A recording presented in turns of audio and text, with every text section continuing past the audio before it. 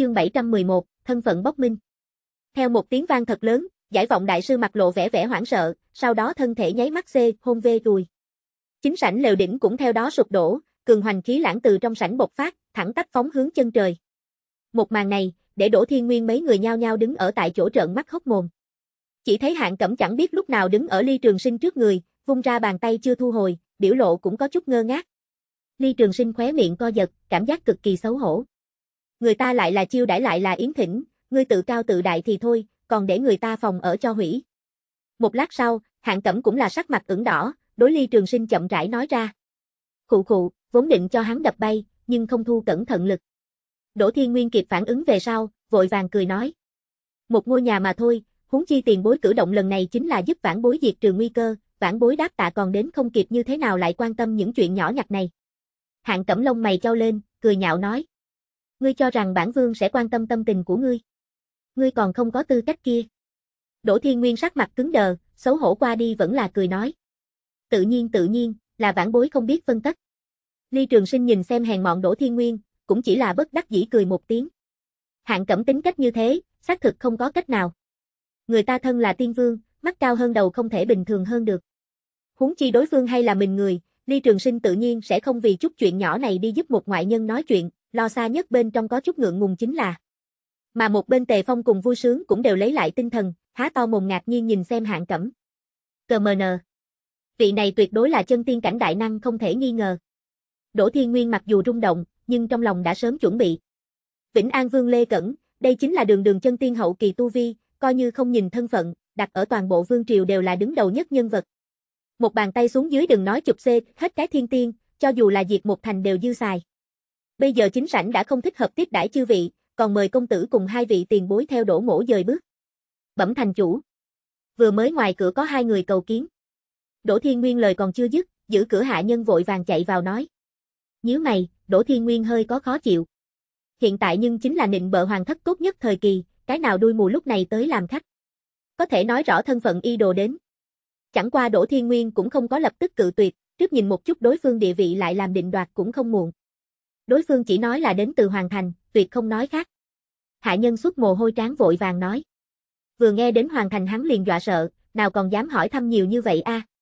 Đỗ Thiên Nguyên sững sờ, sau đó không để lại dấu vết nhìn thoáng qua ly trường sinh bọn người, phát hiện đối phương không có bất kỳ cái gì dị dạng, trong lòng suy đoán sau khi cũng là gật đầu nói. Khi trước mang. Không cần, bản vương mình tiến đến. Lúc này, nam tử cao lớn dẫn đầu vượt qua cánh cửa, bước vào mất đi lều đỉnh chính sảnh bên trong. Sau lưng thanh niên áo trắng, một bên kinh ngạc nhìn trần nhà một bên đi theo vào. Nghe được đối phương cũng tự xưng bản vương, Đỗ Thiên Nguyên cùng Đỗ Quỳnh Hoa hai người đôi mắt bên trong nhau nhau một vòng vẽ kinh nghi. Lại một cái. Vương. Sau đó nhìn về phía ly trường sinh bọn người, phát hiện đối phương biểu lộ không có biến hóa chút nào, nghi ngờ trong lòng nhịn không được càng thêm nồng đậm. Đây là có chuyện gì? Xin hỏi các hạ là. Đỗ Thiên Nguyên cẩn thận từng ly từng tí nhìn xem Lê Cẩn, thăm dò tính mở miệng hỏi thăm. Lê Cẩn hừ cười một tiếng, lấy ra một viên kim chất lệnh bài, lệnh bài này bên trên mảng xà quay quanh, ở giữa ấn có hai cái chữ to, Vĩnh Yên. Đây là... Đỗ Thiên Nguyên con ngươi đột nhiên co vào. Trong lòng là lại kinh lại mộng. Làm sao? Thân là vương triều quan viên, mà ngay cả vương lệnh đều không nhận ra. Lê Cẩn hít mắt trầm giọng nói. Đỗ Thiên Nguyên không dám thất lễ, vội vàng cung kính bái nói. Hạ quan Đỗ Thiên Nguyên, bái kiến Vĩnh An Vương. Ha ha, Đỗ Thiên Nguyên, bản vương y đồ đến chắc hẳn ngươi bây giờ cũng có biết một hai, bản vương hỏi ngươi, là ai tại lấy trộm bản vương danh hiệu giả danh lừa bịp. Lê Cẩn ánh mắt bên trong hiện lên một vòng lãnh quang, quát hỏi. Đỗ Thiên Nguyên trong lòng chấn động kịch liệt. Sai. Toàn sai. Tiền bối kia căn bản cũng không phải là hoàng thất người. Mà trước mặt vị này lấy ra vương lệnh tồn tại, mới là chân chân chính chính Vĩnh An Vương. Đứng tại ly trường sinh sau lưng Đỗ Quỳnh Hoa cũng ngây ngốc nhìn xem một màn này, trong lúc nhất thời lại ngốc tại chỗ không biết làm sao. Cái này. Đỗ Thiên Nguyên mồ hôi lạnh trên trán ứa ra, kìm lòng không được nhìn thoáng qua hạng cẩm phương hướng. Lê Cẩn chú ý tới một màn này sau lập tức đem ánh mắt xê dịch về ly trường sinh bọn người.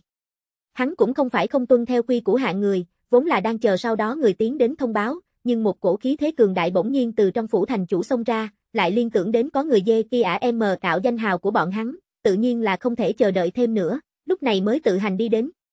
Đám người các hạ lá gan thật đúng là lớn a, thế mà dê kia ả em tạo bản vương cùng tam hoàng tử đến bên này cảnh khoe oai, nếu không phải trùng hợp gặp phải bản vương tự mình đến đây, sợ là không ai có thể bắt lấy cái đuôi của các ngươi. Lê Cẩn nhìn thẳng hạng cẩm con mắt âm thanh lạnh lùng nói. Ly Trường Sinh cũng là nâng lên lông mày. Giả mạo thân phận. Đây là có chuyện gì? Hạng cẩm nghe vậy mày nhăn lại, lửa giận trong lòng cũng lập tức bị điểm đốt lên. Một cái nho nhỏ chân tiên. Lại dám đối xử với hắn như vậy gào to. Ông. Sau một khắc. Một cổ cuộn trào đến khiến người áp lực hít thở không thông bạo phát đi ra, tràn ngập tại toàn bộ chính sảnh.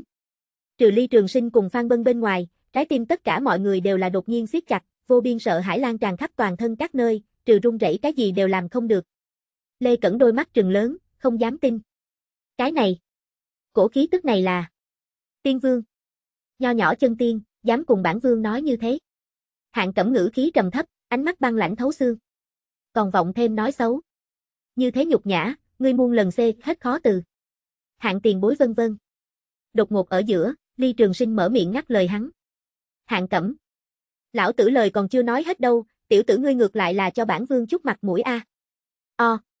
Khóe miệng hơi run rẩy, nhưng hạng cẩm vẫn là chậm rãi giảm nhỏ khí thế. Ly Trường Sinh nhìn xem Lê Cẩn, hơi trầm tư sau nói. Các hạ, chúng ta hôm qua vừa tới nơi đây, tự nhận là không có làm bất luận cái gì thẹn sự tình, càng chưa lấy trộm qua ai danh hiệu. Ngươi vì sao nhất định là chúng ta dê kia ả em mờ tạo ngươi? Lê Cẩn giờ phút này toàn thân đã bị mồ hôi lạnh thẩm thấu, trong lòng cũng là tại trong khoảnh khắc liền nghĩ thông hết thảy. Em đi. Hiểu lầm lớn. Thảo. Trách không được tự xưng bản vương, người ta chính là tiên vương cấp cự đầu, há lại hắn một cái nho nhỏ chân tiên có thể so sánh. Buồn cười là, hắn thế mà còn cho rằng đối phương đang mạo danh danh hào của hắn đến đùa nghịch uy phong. Bên cạnh Lê Tu Giật, đôi mắt u oán nhìn thoáng qua Lê Cẩn. Hắn liền nói đi, vạn nhất thật sự là tiên vương làm sao bây giờ? Trong lòng ai tháng một tiếng. Hắn đường đường tốn tự vương triều mấy vạn năm đến thứ nhất không cho phép hôm nay liền phải xê hết yểu nơi này. Bị tiên vương dê viết xê hết, xê hết cũng là xê hết vô ích. Hắn còn có bó lớn tuổi tác không có hưởng thụ, khó chịu a. Hiểu lầm. Đây đều là hiểu lầm. Lê Cẩn vội vàng ôm quyền không người, cúi đầu run rẩy nói. Là tại hạ có mắt không châu, vọng nhưng ước đoán tiên vương tiền bối. Nhưng ta cái này chất nhi là vô tội, hắn bởi vì cử đi danh ngạch sắp tiến vào kỳ võ thư viện, mong rằng tiền bối xem ở thư viện trên mặt mũi tha cho hắn một mạng. Tại hạ Lê Cẩn, tự nguyện dâng lên tính mạng đến lắng lại tiên vương lửa giận. Ly Trường Sinh nghe nói như thế cũng có chút hiếu kỳ. Cử đi danh ngạch. Kỳ võ thư viện. Cái này lại là cái gì thế lực?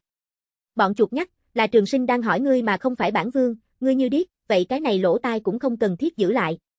Hạng Cẩm bất mãn trong lòng. Mặc dù Ly Trường Sinh hiện tại tu vi không hiện, nhưng nói thế nào cũng là hắn Hạng Cẩm chỗ đi theo thiên kiêu. Dứt bỏ khác không nói, chỉ dựa vào điểm này liền tuyệt đối không thể nhận bất luận cái gì kinh thường. Nếu không chẳng phải là đem hắn mặt đè xuống đất ma sát. Lê Cẩn trong lòng ngơ ngác, có thể để cho đường đường tiên vương khuất tại đi theo, người trẻ tuổi kia đến tột cùng lai lịch ra sao. Trong lòng kinh nghi không ngừng, nhưng miệng của hắn không chậm. Đúng đúng. Công tử, là như vậy. Nghe xong Lê Cẩn về sau, đám người cũng đều giật mình. Đỗ Thiên Nguyên cùng Đỗ Quỳnh Hoa cũng không biết nên nói cái gì cho phải. Dù sao, bọn hắn cũng hiểu lầm. Lục phẩm tiên khí sư đều đã rất không thể tưởng tượng nổi, chớ nói chi là tiên vương. Chẳng qua Đỗ Thiên Nguyên trong lòng vẫn là vô cùng kích động, kinh hỉ xa xa lớn hơn sợ hãi. Bởi vì dù là hắn biết sai thân phận đối phương, coi như làm sự tình mà nói không có bất kỳ cái gì không đúng, thậm chí còn phi thường nhiệt tình chiêu đãi. Nếu có thể dựng vào tiên vương đường dây này, ai thương mại còn tại quản cái gì chó má vương triều a? Hóa ra là dạng này a, Ly Trường Sinh nghe xong đối phương giải thích cũng là dở khóc dở cười. Suy nghĩ kỹ một chút cũng có thể hiểu được, dù sao phóng tầm mắt toàn bộ chứ, tiên vương sao mà rất ít. Có bao nhiêu người cố gắng cả đời đều khó mà nhìn thấy một vị. Nếu là hiểu lầm, kia coi như xong đi. Ly Trường Sinh khoát khoát tay nói. Tại hắn dứt lời về sau, hạng cẩm thả ra khí thế cũng lập tức tiêu tán vô tung. Lê Cẩn cùng Lê Tu giật thấy thế, trong lòng bỗng nhiên lỏng một đại khẩu khí. Nhặt về cái mạng. Mà đứng ở phía sau Đỗ Quỳnh Hoa, trong đôi mắt đẹp dị sắc không khô chuyển. Sinh linh từ trước đến nay đều là mộ mạnh, huống chi là đã đối ly trường sinh có ấn tượng tốt nàng. Giờ phút này tức thì bị đối phương cái này trong ngôn ngữ quyết người sinh tử khí chất cho thật sâu hấp dẫn. Không có chú ý đến sau lưng Mỹ Nhân Nhi ánh mắt, Ly Trường Sinh nhìn xem Lê Cẩn cùng Lê Tu giật hỏi. Chẳng qua kia cái gì kỳ võ thư viện cùng cử đi danh ngạch làm sao chuyện. Có thể nói cho ta một chút a Tim chúng mình biết quảng cáo pop sẽ khiến quy độc giả khó chịu khi trải nghiệm, nhưng chúng mình đang gặp khó khăn về chi phí duy trì và phát triển website nên buộc phải chèn quảng cáo pop trong một vài tháng. Chúng mình chân thành xin lỗi và mong quy độc giả thông cảm. Hoặc nếu bạn cảm thấy phiền, bạn có thể ủng hộ đọc tại website khác trong hệ thống của chúng mình tại link tương ứng. https lightonvol.vn, Trinh, ngon xuất pháp tuy ta bi nhanh thanh thanh giao chi tu, trong, 28, thang, phan, bóc, minh. Chương 712, Phạm Thiên Đạo Viện. Ly Trường Sinh hỏi xong, không chờ Lê Cẩn mở miệng, Phan Bân Phước trước nói. Cái này liền để lão phu đến cấp giải đáp đi. Hơi suy tư một phen sau, Hào Phóng chậm giải thích lên. Muốn hiểu rõ kỳ võ thư viện, cần trước từ Phạm Thiên Đạo Viện kể cho tăng lên. Phạm Thiên Đạo Viện tại chư thiên địa vị muốn khí minh đặc thù nhiều, nó là thực sự cấp chí tôn thế lực, cũng là chuyên môn bồi dưỡng thiên tài đứng đầu cái nôi. Nó tại chư thiên bên trong lịch sử, trừ thái sơ tiên vực bên ngoài, thậm chí chí chí muốn sau mặt khác tam đại hoàng cấp thế lực còn phải xa xưa hơn, cụ thể đảng sinh thời đại đã không thể khảo cứu, chỉ sợ cực kỳ kỳ quái lão quái vật bên ngoài, không biết nó là người phương nào lập, khai sáng dự phòng ban đầu lại là cái gì. Về phần Phạm Thiên Đạo Viện thu nạp thiên tài mạnh hơn tới trình độ nào đâu. Cái này cũng khó nói, bởi vì bọn kiểm nơi đó tự có một bộ bình phán tiêu chuẩn. Nhưng có một chút, Phạm Thiên Đạo Viện tôn chỉ chưa bao giờ thay đổi, đó chính là bồi dưỡng trí tôn. Phạm là từ bên trong đi ra thiên tài, tương lai tối thiểu nhất đều là tiên vương cấp cự đầu. Phan Bân Ngữ khí nhiễm lên một vòng kích động tiếp tục nói. Trong đó lớn nhất đại biểu tính đệ tử, chính là vô thương tiên vực kia phân hóa lên đạo giả. Thành chính là từ Phạm Thiên Đạo Viện đi ra. Thế nhưng chính là bởi vì loại này cực cao cấp cửa, để nó nhân số cũng cực kỳ thưa thớt, thậm chí một thời đại thậm chí chí mấy cái thời đại đều chưa chắc chắn có một vị học viên. Thời kỳ thượng cổ không rõ ràng, nhưng bây giờ muốn gia nhập Phạm Thiên Đạo Viện, chư thiên bên trong công nhận phương pháp chỉ có một, đó chính là trước gia nhập nó hai cái hạ cấp thế lực. Hải thế lực thứ nhất chính là kỳ võ thư viện, thứ hai tên là tinh thần học viện. Vô luận là thư viện hay là trong học viện, đều có Phạm Thiên Đạo viện trưởng, Thiên Cơ đạo nhân, lưu lại Thiên Cơ bia. Cho nên đội đánh thu nạp thiên tài điều kiện cũng có hai cái. Thứ nhất, chỉ cần là danh tự xuất hiện tại Thiên Cơ tấm bia thiên tài, đều sẽ được cử đi danh ngạch. Bất quá Thiên Cơ tấm bia cũng sẽ chỉ thể hiện một cái tên, nếu là xuất thân tại đại gia tộc, có chút danh khí còn tốt tìm được, nhưng nếu là loại kia ở cái nào hạ giới có thể là không biết tên tiên giới tiểu nhân vật, cũng quá khó khăn. Dù sao chư thiên bên trong trùng lập tên trùng họ người đều vô số kể. Cho nên nhiều khi, dù là hai thế lực này dốc hết toàn lực đi tìm, cũng chưa chắc có thể tìm được người tương ứng. Mà điều kiện thứ hai, chính là mỗi ngàn năm một lần Brahma Đại Điển. Brahma Đại Điển là thời kỳ thượng của Phạm Thiên Đạo Viện truyền thông, bất quá có thể là người đến sau số lượng quá ít, cho nên không biết bắt đầu từ khi nào đã được Phạm Thiên Đạo Viện bỏ bỏ, nhưng lại bị về sau kỳ võ thư viện và tinh thần học viện cho tiếp tục kéo dài, coi như mời chư thiên thiên đại điển. Tính toán thời gian. Khoảng cách lần sau Brahma đại điển còn chưa đến 100 năm.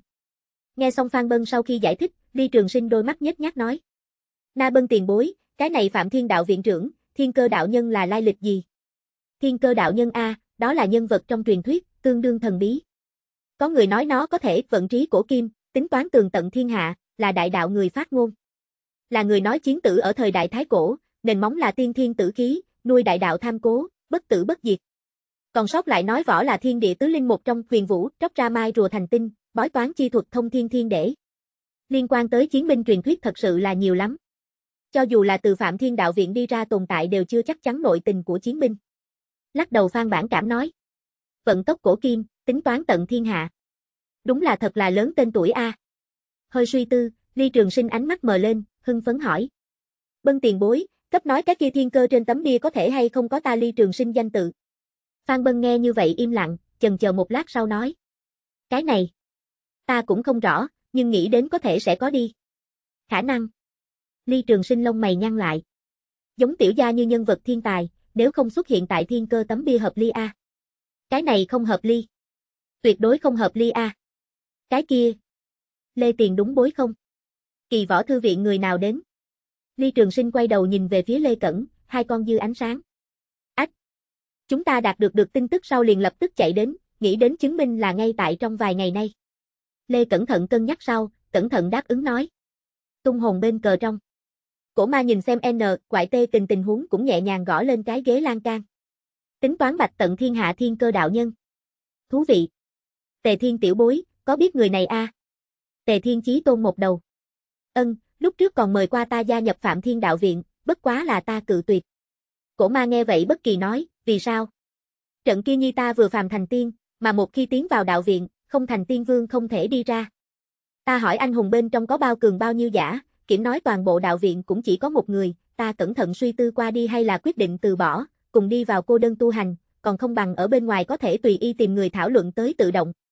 Tấn thăng chí tôn lúc ấy ta còn nghĩ qua tìm võ luận bàn tới, nhưng cũng tiếc không tìm được. Nói đến đây, Tề Thiên Tiên Tôn cũng là cảm thấy tiếc nuối. Ha ha ha ha.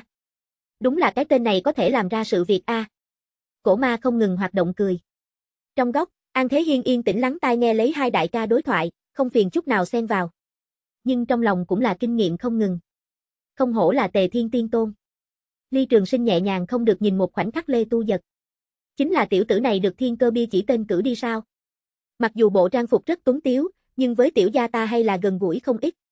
Nếu như thế, Trường Sinh có một câu chuyện muốn nhờ, vài ngày tiếp theo Lê Tiền Bối có thể để lũ người tại hạ tùy hành. Ly Trường Sinh nhìn về phía Lê Cẩn cười nói. Muốn hỏi chính xác một chút kỳ võ thư viện người. Ta có thể không nhập các xúc, nhưng các loại này không thể có tên của ta. Đây chính là thân là thiên tài vinh quang A. Nhìn xem hai con sáng lên Ly Trường Sinh, Lê Cẩn trong lòng không hiểu, trước mặt người trẻ tuổi kia lai lịch tuyệt đối không nhỏ, có thể lại vì cái gì chưa biết Phạm Thiên Đạo Viện và Thiên Cơ Đạo nhân sự tình đâu. Mặc dù nghi hoặc nhưng lửa hay là một mặt vàng đầu, cũng có chút định nọc đáp lại nói. Có thể có thể. Đã là công tử mở miệng, Lê Mổ như thế nào lại nhiều lời. Cái kia trường sinh ngay tại đây đa tạ Lê tiền bối. Đâu có đâu. Đây là Lê Mổ vinh hạnh. Lê Tư giật quay hàm hơi yên, cường nín cười y. Cuối cùng là lần đầu tiên nhìn thấy Lê Cẩn thấp như vậy lông mày thuận mắt thiết kế, cùng ngày xưa so sánh tương phản quá lớn. Luôn cảm giác. Thật là buồn cười. Tim chúng mình biết quảng cáo pop-up sẽ khiến quy độc giả khó chịu khi trải nghiệm, nhưng chúng mình đang gặp khó khăn về chi phí duy trì và phát triển website nên buộc phải chèn quảng cáo pop-up trong một vài tháng. Chúng mình chân thành xin lỗi và mong quy độc giả thông cảm. Hoặc nếu bạn cảm thấy phiền, bạn có thể ủng hộ đọc tại website khác trong hệ thống của chúng mình tại link tương ứng. https lightonvol.vn, Trin, ngon xuất phát bi nhan Thanh then Giao Chi Tu, Trong, 29, Pham, Then, Giao, Viên. Chương 713, Hoàng Phủ Phong thỉnh tội. Tề Phong tại cùng Đào Nhiên liếc nhau sau, nhân tiện nói.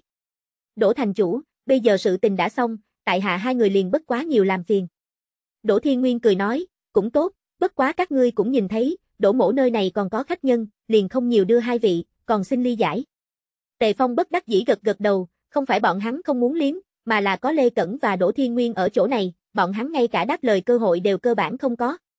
Nếu Đại Tây qua ăn không vô, cái kia hạt vườn nhỏ thì càng không có khả năng ném đi. Sau đó liền đối với Ly Trường Sinh bọn người nói. Ly công tử, hai vị tiền bối, ngày sau nếu có cơ hội có thể đi kim đỉnh tiên môn ngồi một chút, tại hạ định kiệt lực an bài. Ly Trường Sinh cười gật đầu khách khí nói. Có cơ hội. Đợi hai người sau khi đi, Đỗ Thiên Nguyên liền dẫn mọi người đi tới phó thính bên trong. Bất quá lần này, cho dù là nhà mình hắn cũng không dám tọa chủ tòa. Mà là cung kính đối với hạng cẩm đạo, tiền bối, xin mời. Hạng cẩm liếc mắt nhìn hắn, thản nhiên nói. Bọn chuột nhắc, ngươi còn không hiểu sao? Lời này vừa nói ra, Đỗ Thiên Nguyên lập tức sững sờ. Không hiểu. Chẳng lẽ? Hắn nhìn thoáng qua ly trường sinh, trong lòng càng hải nhiên. Tại thực lực này vi tôn thế giới, cho dù là đối mặt nhà mình thế lực thiếu chủ, nhưng tại đối phương cảnh giới thấp thời điểm, cũng không trở thành như thế đi. Người trẻ tuổi kia lai lịch đến tột cùng lớn bao nhiêu a? Lê Cẩn và Đỗ Thiên Nguyên thật sự là không còn dám tiếp tục nghĩ. Mà Ly Trường Sinh tất nhiên là không có nhiều như vậy thuyết đầu, cười hắc hắc liền thoải mái ngồi xuống. Đồng thời cho hạng cẩm ném đi một tán thưởng ánh mắt. Khá lắm, biết tiểu gia thích gì, mặt mũi này cho nhất định phải điểm cái like. Tiếp lấy Phan Bân và hạng cẩm liền ở phía dưới vị trí ngồi xuống. Đỗ Thiên Nguyên bọn người lúc đầu cũng nghĩ tọa hạ, nhưng bộ này sảnh không giống chính sảnh, chỉ có một chủ vị, còn lại đều xếp tại cùng một chỗ. Nhìn xem trên ghế hạng cẩm, suy nghĩ kỹ một chút thôi được rồi, đứng đấy đi. Cùng đường đường tiên vương ngồi một cái cấp bậc cái ghế, bọn hắn còn chưa xứng. Người tới, chuẩn bị ghế. Tại Đỗ Thiên Nguyên hô to xong, Ly Trường Sinh vội vàng ngắt lời nói. Chờ chút. Lê tiền bối các ngươi đằng sau tính toán đến đâu rồi? Lê Cẩn biết đối phương muốn hỏi gì, vội vàng cung kính nói, hồi bẩm công tử, kỳ võ thư viện sứ giả nhanh nhất cũng muốn ngày mai đằng sau đến, trong khoảng thời gian này tại hạ hai người dự định trước ở tại phủ thành chủ. Dạng này a, Ly Trường Sinh gật gật đầu sau, đối với Đỗ Thiên Nguyên cười nói. Đỗ tiền bối, cái này vừa sáng sớm ăn tiệc Trường Sinh thật sự là không quen, mà lại hôm qua Đỗ cô nương còn mời tại hạ hôm nay đi dạo chơi thành trì này, không bằng ngay tại trên đường ăn chút đồ ăn sáng đi, cũng tốt càng nhiều cảm thụ một chút tiêu thành không phải. Cái này. Toàn nghe công tử lời nói. Đỗ Thiên Nguyên hơi chần chờ, nhưng chú ý tới ly trường sinh cái kia không giống như là khách sáo ánh mắt, cũng là gật gật đầu. Đỗ Quỳnh Hoa nghe vậy ánh mắt lập tức sáng lên, bất quá lập tức lại ảm đạm xuống. Nàng là cao quy thành chủ chi nữ, cũng tự nhận là rất ưu tú, thiên phú hình dạng thậm chí tài tình, mặc dù không nói kinh diễm đến cực điểm nhưng cũng tuyệt đối không kém.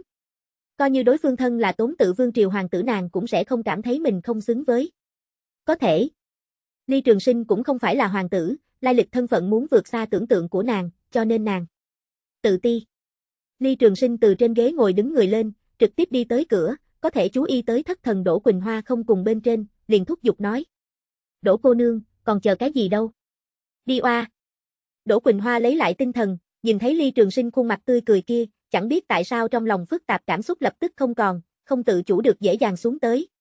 Nàng gật đầu cười nói. Ân. Nghe được đối phương muốn dạo phố đi, Lê Tu giật lập tức trong lòng ngứa ngáy, kìm lòng không được liền mở miệng. Cái kia, ta. Khụ khụ. Có thể lời còn chưa dứt, Lê Cẩn liền trùng điệp ho khan hai tiếng. Lê Tu giật da mặt lắc một cái, hắn chỉ là cũng nghĩ ra đi chơi mà thôi, không nói muốn đi theo a. Ly Trường Sinh nhìn xem hắn cái này biệt khuất bộ dáng không khỏi vui lên. Từ vừa trông thấy Lê Tu giật thời điểm hắn liền phát giác được đối phương không phải ổn trọng chủ, tản mạn khí chất ngược lại là cùng Dung Hạo có chút tương tự. Cười nói, như Lê Đạo Hữu không chê, có thể cùng tại hạ cùng một chỗ, ba người cũng có thể càng náo nhiệt một chút. Quả nhiên, Lê Tu giật đôi mắt sáng lên. Như thế nào ghét bỏ? Có thể cùng công tử cùng dạo chính là Tu giật vinh hạnh. Ha ha. Cái kia đi thôi. Vô thương tiên vực, tuệ long tinh bên ngoài. Một người mặc áo bào màu vàng ống nam tử trung niên tóc trắng chính nhanh chóng bay tới. Khi hắn bay đến tuệ long tinh phụ cận thời điểm, một đạo thanh âm hùng vĩ bỗng nhiên vang lên. Lai giả hà nhân. Nam tử trung niên lập tức dừng thân hình, đem trên lưng lệnh bài cầm lấy, cao giọng nói. Vô cực tiên cung đương đại cung chủ, Hoàng Phủ Phong. Đến đây gặp mặt lão tổ.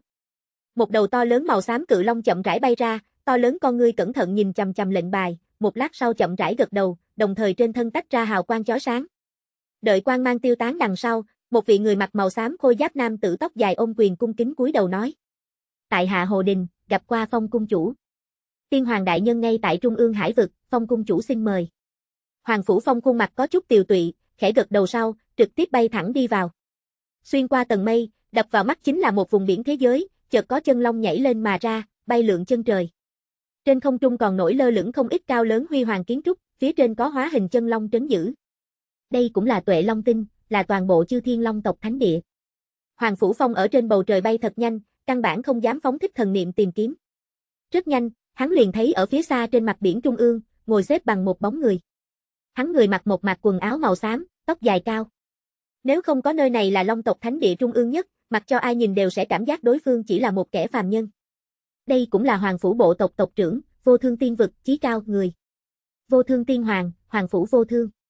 Hoàng phủ phong xa xa liền từ trên bầu trời rơi xuống, dẫm ở trên mặt biển, triều đối phương chậm rãi đi đến. Đãi hắn cách vô thương tiên hoàng còn sót lại 10 bước khoảng cách lúc, bước chân bỗng nhiên dừng lại, hai đầu gối quỳ xuống đất, thân thể phủ phục xuống dưới. Dù là thân là đỉnh phong chí tôn cảnh cường giả, cái quỳ này, hắn cũng cam tâm tình nguyện.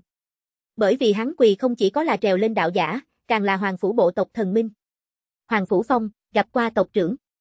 Vô thương tiên hoàng chậm rãi mở mắt ra, một đôi sạch sẽ trong suốt màu xanh biết con ngươi có chút lóng lánh quang mang, nhìn xem Hoàng Phủ Phong nói. Là Phong A, tìm ta chuyện gì? Hoàng Phủ Phong không có ngẩng đầu, y nguyên nằm rạp trên mặt đất lớn tiếng nói. Hồi bẩm tộc trưởng, trong tộc Thái Thương quyết tiết lộ, nhưng Thủy Trung tìm không thấy là người phương nào cách làm, là Phong vô năng, chuyến này chuyên tới để hướng tộc trưởng thỉnh tội. Tại 200 năm trước, vô cực tiên cung 12 cung lão đều xác định không có tiết lộ Thái Thương quyết, cho nên đầu mâu liền chỉ hướng Phúc lão và đại tiểu thư. Kết quả như vậy cũng làm cho tất cả cung lão tâm ly có kết luận, cho là việc này không nên lại ra tiếp, liền ngay cả Hoàng Phủ Phong chính mình cũng nghĩ như vậy. Có thể có lẽ là trong tộc động tĩnh huyên náo quá lớn, Phúc Lão lại chủ động tới lập xuống đại đạo lời thề tự chứng trong sạch. Cũng cam đoan đại tiểu thư cũng cùng này không quan hệ. Cái này khiến tất cả mọi người mộng, đến mức đem hết thảy toàn bộ đạp đổ làm lại. Cũng bởi vậy, hắn vì ra rõ chuyện này, lặp đi lặp lại dày vò 200 năm. Đến nay như cũ không thu hoạch được gì. Hắn thật sự là không có cách nào, lúc này mới đến tuệ long tinh thỉnh tội. Vô thương tiên hoàng nhẹ nhàng cười nói. Ngươi đứng lên trước đi. Là. Hoàng Phủ Phong đứng người lên. Vô thương tiên hoàng, chuyện này ta đã biết, không trách ngươi. Người sử dụng là một ưu tú tiểu bối. Ngươi lại trở về nói cho các tộc nhân, như hậu thiên thương tháp lại bởi vậy dị động liền không cần để ý tới, yên lặng theo dõi kỳ biến liền tốt. Hoàng Phủ Phong nghe vậy trong lòng rung mạnh. Một ưu tú tiểu bối. Chẳng lẽ, Thái Thương Quyết là tộc trưởng tự mình thả ra. Tộc trưởng muốn bồi dưỡng truyền nhân. Hay là một người họ khác? Nhìn xem ngay người tại chỗ Hoàng Phủ Phong, vô thương tiên hoàng bất đắc dĩ nói. Thái thương quyết là chính hắn cơ duyên, ngươi không cần suy nghĩ nhiều. Đợi thời điểm đến, ngươi cũng sẽ nhìn thấy hắn. Lấy lại tinh thần Hoàng Phủ Phong trọng trọng gật đầu, sau đó ôm quyền bái nói. Phong minh bạch. Ân, như không có chuyện khác liền trở về đi. Là. Hoàng Phủ Phong sau khi đi, vô thương tiên hoàng ngẩng đầu nhìn bầu trời, không biết nghĩ tới điều gì, đôi mắt hơi có vẻ bi thương thở dài. Biết rõ hậu quả, lại như cũ không sợ. Thật đúng là cùng hắn giống nhau như đúc A. Trên đường trở về, Hoàng Phủ Phong đầu ông ông. Mặc dù nhà mình tộc trưởng để hắn đừng suy nghĩ nhiều, nhưng làm sao có thể không nghĩ ngợi thêm A. Căn bản nhịn không được được chứ. Tại sao phải nói Thái Thương Quyết là đối phương cơ duyên của mình? Còn có, đến cùng là một vị dạng gì thiên tài? Có thể đạt được tộc trưởng chính miệng tán thưởng. Tim chúng mình biết quảng cáo cô quốc sẽ khiến quy độc giả khó chịu khi trải nghiệm, nhưng chúng mình đang gặp khó khăn về chi phí duy trì và phát triển website nên buộc phải chèn quảng cáo cô quốc trong một vài tháng. Chúng mình chân thành xin lỗi và mong quy độc giả thông cảm. Hoặc nếu bạn cảm thấy phiền, bạn có thể ủng hộ đọc tại website khác trong hệ thống của chúng mình tại link tương ứng. https lightonvol.vn, Trin, ngon xuất pháp tuy ta bi nhanh thanh then giao chi tu, trong, 30, hoang, phu, phong, kinh, toi. Chương 714, Lê Gia Gia Sự Ra khỏi phủ thành chủ, Ly Trường Sinh ba người liền ở trên đường tùy tiện tìm bán bánh bao. Vừa mới ngồi xuống, tiệm kia gia liền vội vàng chạy chậm đi qua, định nọc nói. Ấy u. Đỗ tiểu thư, hai vị công tử, muốn ăn thứ gì tùy tiện điểm. Ly Trường Sinh nhìn một chút trên bảng hiệu chữ, nói. Chủ quán, hai dây văn bánh bao thịt trâu, một bát làm linh chúc. Lê Tu Giật, một bàn ngàn đầu đậu hũ, một bát màu ngân vàng thắng, một bầu tiền trinh say. Đỗ Quỳnh Hoa, một bát làm linh chúc, một chén bích trà nóng. Được rồi. Một lát sau, nóng hổi đồ ăn sáng liền đã bưng lên. Ly Trường Sinh nhìn xem đi lên trước hết rót rượu Lê Tu Giật cười nói. Xem ra Lê Đạo Hữu cũng là người thích rượu, ngược lại là cùng tại hạ một vị bằng hữu có chút tương tự. Lê Tu Giật nghe vậy vội vàng cười bồi nói, có thể cùng Ly công tử bằng hữu đánh đồng, là Tu Giật vinh hạnh. Ta người này không thích những cái kia khuôn sáo, tự nhiên thoải mái chút tốt nhất, ngươi như như vậy câu thúc ngược lại làm cho ta cực kỳ khó chịu. Lê Tu Giật nghe vậy coi chừng đánh giá Ly Trường Sinh. Hoàn toàn chính xác, Ly Trường Sinh mang đến cho hắn một cảm giác cùng hạng cẩm hoàn toàn khác biệt, khí chất xuất trần, lại nho nhã hiền hòa. Một lời cười một tiếng ở giữa đều rất dễ dàng để cho người ta sinh ra một loại thân thiết hảo cảm. Chỉ là ngồi tại đối phương bên người, thể xác tinh thần liền sẽ không tự chủ được trầm tĩnh lại. Cái kia. Trường sinh huynh. Tu giật huynh. Nghe được ly trường sinh đáp lại, Lê Tu giật ngồi trên ghế thân thể bỗng nhiên buông lỏng xuống. Cười hắc hắc nhếch lên chân bắt chéo nói. Còn phải là trường sinh huynh loại này từ đại gia tộc đi ra, so ta mấy cái kia chỉ biết là ỷ vào thân phận diễu võ dương oai các huynh đệ mạnh không biết bao nhiêu. Thấy đối phương cái này phóng thích bản thân bộ dáng, Ly Trường Sinh cũng là nhịn không được bật cười một tiếng. Chỗ nào, tu giật huynh quá khen. Nói xong hắn cũng quay đầu nhìn về phía Đỗ Quỳnh Hoa đạo. Đỗ cô nương cũng giống như thế, không cần khách khí. Tốt. Đỗ Quỳnh Hoa phủ một chút bên tai mái tóc mỉm cười. Đúng rồi Trường Sinh huynh, vừa rồi tại phủ thành chủ ta liền muốn hỏi, như ngươi loại này xuất thân đại gia công tử làm sao lại không biết Phạm Thiên Đạo Viện và Kỳ Võ Thư Viện sự tình đâu. Lê Tu Giật uống một ngụm rượu, cũng rất mau tiến vào trạng thái, rất tự nhiên bắt chuyện. Đây chính là Tu Giật huynh quá khen, tại hạ là lần đầu đến vạn vực, trước đó vẫn luôn sinh hoạt tại hạ giới, tất nhiên là không biết những này. Phương diện này Ly Trường Sinh cũng không có giấu giếm, cười giải thích nói. Hạ giới. Lê Tu Giật và Đỗ Quỳnh Hoa đều là sững sờ. Là gia tộc có cái gì quy định a? Tỷ như trưởng thành trước đó không để cho nhập thượng giới loại này. Lê Tu Giật trừng to mắt hỏi. Cái này không tiện nhiều lời, mong rằng Tu Giật huynh thông cảm. Ly Trường Sinh lộ ra một vòng ấy náy nụ cười nói. Lê Tu Giật cũng không hỏi tới nữa, mà là tràn đầy đồng cảm gật đầu nói. Ly giải ly giải, dù sao nói như vậy, càng cường đại thế lực quy củ càng là phong phú, rất bình thường. Tựa như ta ở nhà, sáng sớm lúc nhất định phải nổi giường biết sách luyện chữ, giờ ngọ một khắc luyện võ, giờ dậu một khắc luyện vui, thời gian còn lại còn không thể nghỉ ngơi, nhất định phải dùng để tinh tiến tu vi. Trừ mỗi tháng có hai ngày ngày nghỉ bên ngoài, còn lại sinh hoạt đều rất là dày vò, vốn cho rằng chuyến này ra hoàn thành liền có thể tự do chút, khả cẩn thúc còn đi theo giá MS cát, ai. Mệt mỏi a. Lê Tu giật phiền muộn thở dài một tiếng, lần nữa cạn một chén rượu. A, ngươi thời gian này cũng quá khó khăn đi. Không phải sao? Thậm chí có đôi khi phụ hoàng sẽ còn tới kiểm tra thí điểm, nếu là có tiến bộ còn tốt, hắn nhiều nhất sẽ chỉ mặt không thay đổi gật gật đầu rời đi. Nhưng nếu là không có tiến bộ liền xong rồi. Mặt kia lập tức liền kéo xuống. Sau đó cao mày đưa ngươi mỗi tháng duy hai ngày nghỉ cho hủy bỏ, có đôi khi sẽ còn để cho ngươi thêm luyện, không hoàn thành vẫn luyện. Các ngươi hoàng gia tử đệ thời gian đều khó như vậy nấu a. Lê Tu Giật trong miệng thời gian ly trường sinh thật sự là không cách nào tưởng tượng. Trong nhận biết của hắn hoàng tử, đó là cấp cao nhất hoàng khố, mỗi ngày sống phóng túng trang bức đánh mặt, há không nhanh hồ. Này làm sao cảm giác so ly trường sinh kiếp trước trên địa cầu học thời gian còn quy luật A. Cũng không phải đi. Lê Tu giật vẻ mặt đau khổ, sau đó đại thổ nước đắng nói. Đại ca của ta mỗi ngày câu lan nghe hát đêm không về ngủ. Tứ đệ tôn trọng Phật Pháp thường xuyên hướng chùa miếu chạy. Ngủ muội không có việc gì, cả ngày tưởng tượng lấy có thể có cái thế anh hùng sang bằng hoàn thành tới đón cưới nàng. Lục muội nhỏ nhất, ưa thích đóng vai kiếm tiên hành hiệp trượng nghĩa, mỗi ngày trong cung nghịch ngợm gây sự. Những này phụ hoàng là tuyệt không quản a, liền ta cái này lão tam thống khổ nhất. Ly Trường Sinh khóe miệng co giật.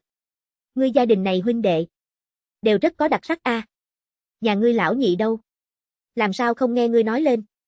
Nhị ca a, Lê Tu giật trong mắt cũng là hiện lên một vòng sa sút chi sắc, lắc đầu nói. Ta theo mẹ sau nơi đó biết được nhị ca là hiểu rõ ta nhất, nhưng đánh từ ta ký sự lên liền không có gặp qua hắn.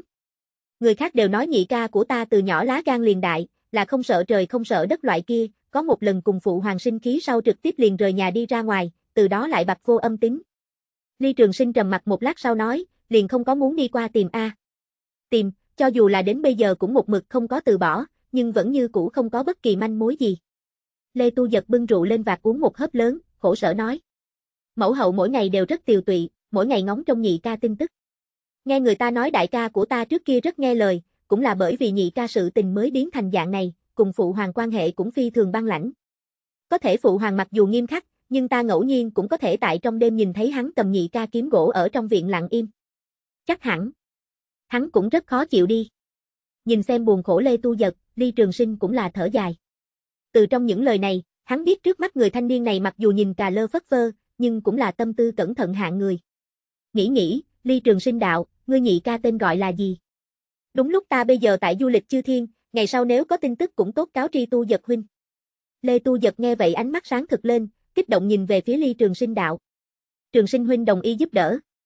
Hỗ trợ chưa nói tới, dù sao ta cũng có chính mình sự tình muốn làm, nhưng ngươi ta quen biết một trận cũng coi là duyên phận, như ngày sau nhận được tin tức tại hạ chắc chắn tận một phần sức mọn. Ly Trường Sinh khẽ lắc đầu cười nói. Mặc dù người trước mắt vẫn rất hợp hắn khẩu vị, nhưng dù sao vừa mới nhận biết, mà lại rất nhanh hắn liền muốn rời khỏi nơi này, về sau có thể hay không gặp lại hay là hai chuyện đâu. Lê Tu Giật tự nhiên biết rõ đạo ly trong đó, vô luận là khách sáo cũng tốt, nhất thời tràn diện cũng được, nhưng đối phương có thể lái được cái miệng này cũng là để trong lòng của hắn nhiều phần hy vọng, trong lòng tự nhiên khó tránh khỏi cảm kích. Hắn gật gật đầu xuất ra một bức họa đưa cho Ly Trường Sinh đạo. Trường Sinh huynh, đây chính là nhị ca của ta Lê Cảnh Thần, tay trái phía sau có một khối bớt. Ly Trường Sinh nhìn một chút đem trong chân dung người, sau đó đem nó thu hồi nói. Tốt. Ăn xong đồ ăn sáng, Đỗ Quỳnh Hoa không để y chủ quán từ chối, cho đối phương trả tiền sau, ba người liền tiếp tục đi dạo lên tiêu thành. Cũng không lâu lắm, Ly Trường Sinh xa xa liền thấy một tòa cao lớn cung điện tọa lạc, đứng ở cửa rất nhiều người vây xem, không ít quần áo lộng lẫy người kết bạn tiến vào bên trong. Ly Trường Sinh có chút hiếu kỳ hỏi hướng Đỗ Quỳnh Hoa. Đỗ cô nương, đó là địa phương nào? Đỗ Quỳnh Hoa cười nói. Về công tử, đây là tiêu thành lớn nhất phòng đấu giá, mỗi tháng trung tuần giờ tỷ bắt đầu, đúng lúc hôm nay đuổi kịp thời gian, như công tử có hứng thú không ngại đi vào xem xét. Ly Trường Sinh đôi mắt hơi sáng. Đấu giá hắn cũng chỉ là nghe qua, còn chưa bao giờ thấy tận mắt, khó tránh khỏi hứng thú nồng hậu dày đặc. Đi. Tim chúng mình biết quảng cáo pop sẽ khiến quy độc giả khó chịu khi trải nghiệm, nhưng chúng mình đang gặp khó khăn về chi phí duy trì và phát triển website nên buộc phải chèn quảng cáo pop trong một vài tháng. Chúng mình chân thành xin lỗi và mong quy độc giả thông cảm. Hoặc nếu bạn cảm thấy phiền, bạn có thể ủng hộ đọc tại website khác trong hệ thống của chúng mình tại link tương ứng. https lightonvol.vn, Trinh, ngon xuất pháp truy ta vi nhan thanh thanh giao chi tu, trong, 31, le, gia, gia, su. Chương 715, Bách Hiểu đấu giá, bên trên. Bách Hiểu đấu giá, là tiêu thành số một phòng đấu giá, mặt tiền to lớn, cùng phủ thành chủ so sánh cũng là không kém quá nhiều. Cũng nguyên nhân chính là như vậy, nó cũng là tiêu thành người giai cấp đường ranh giới.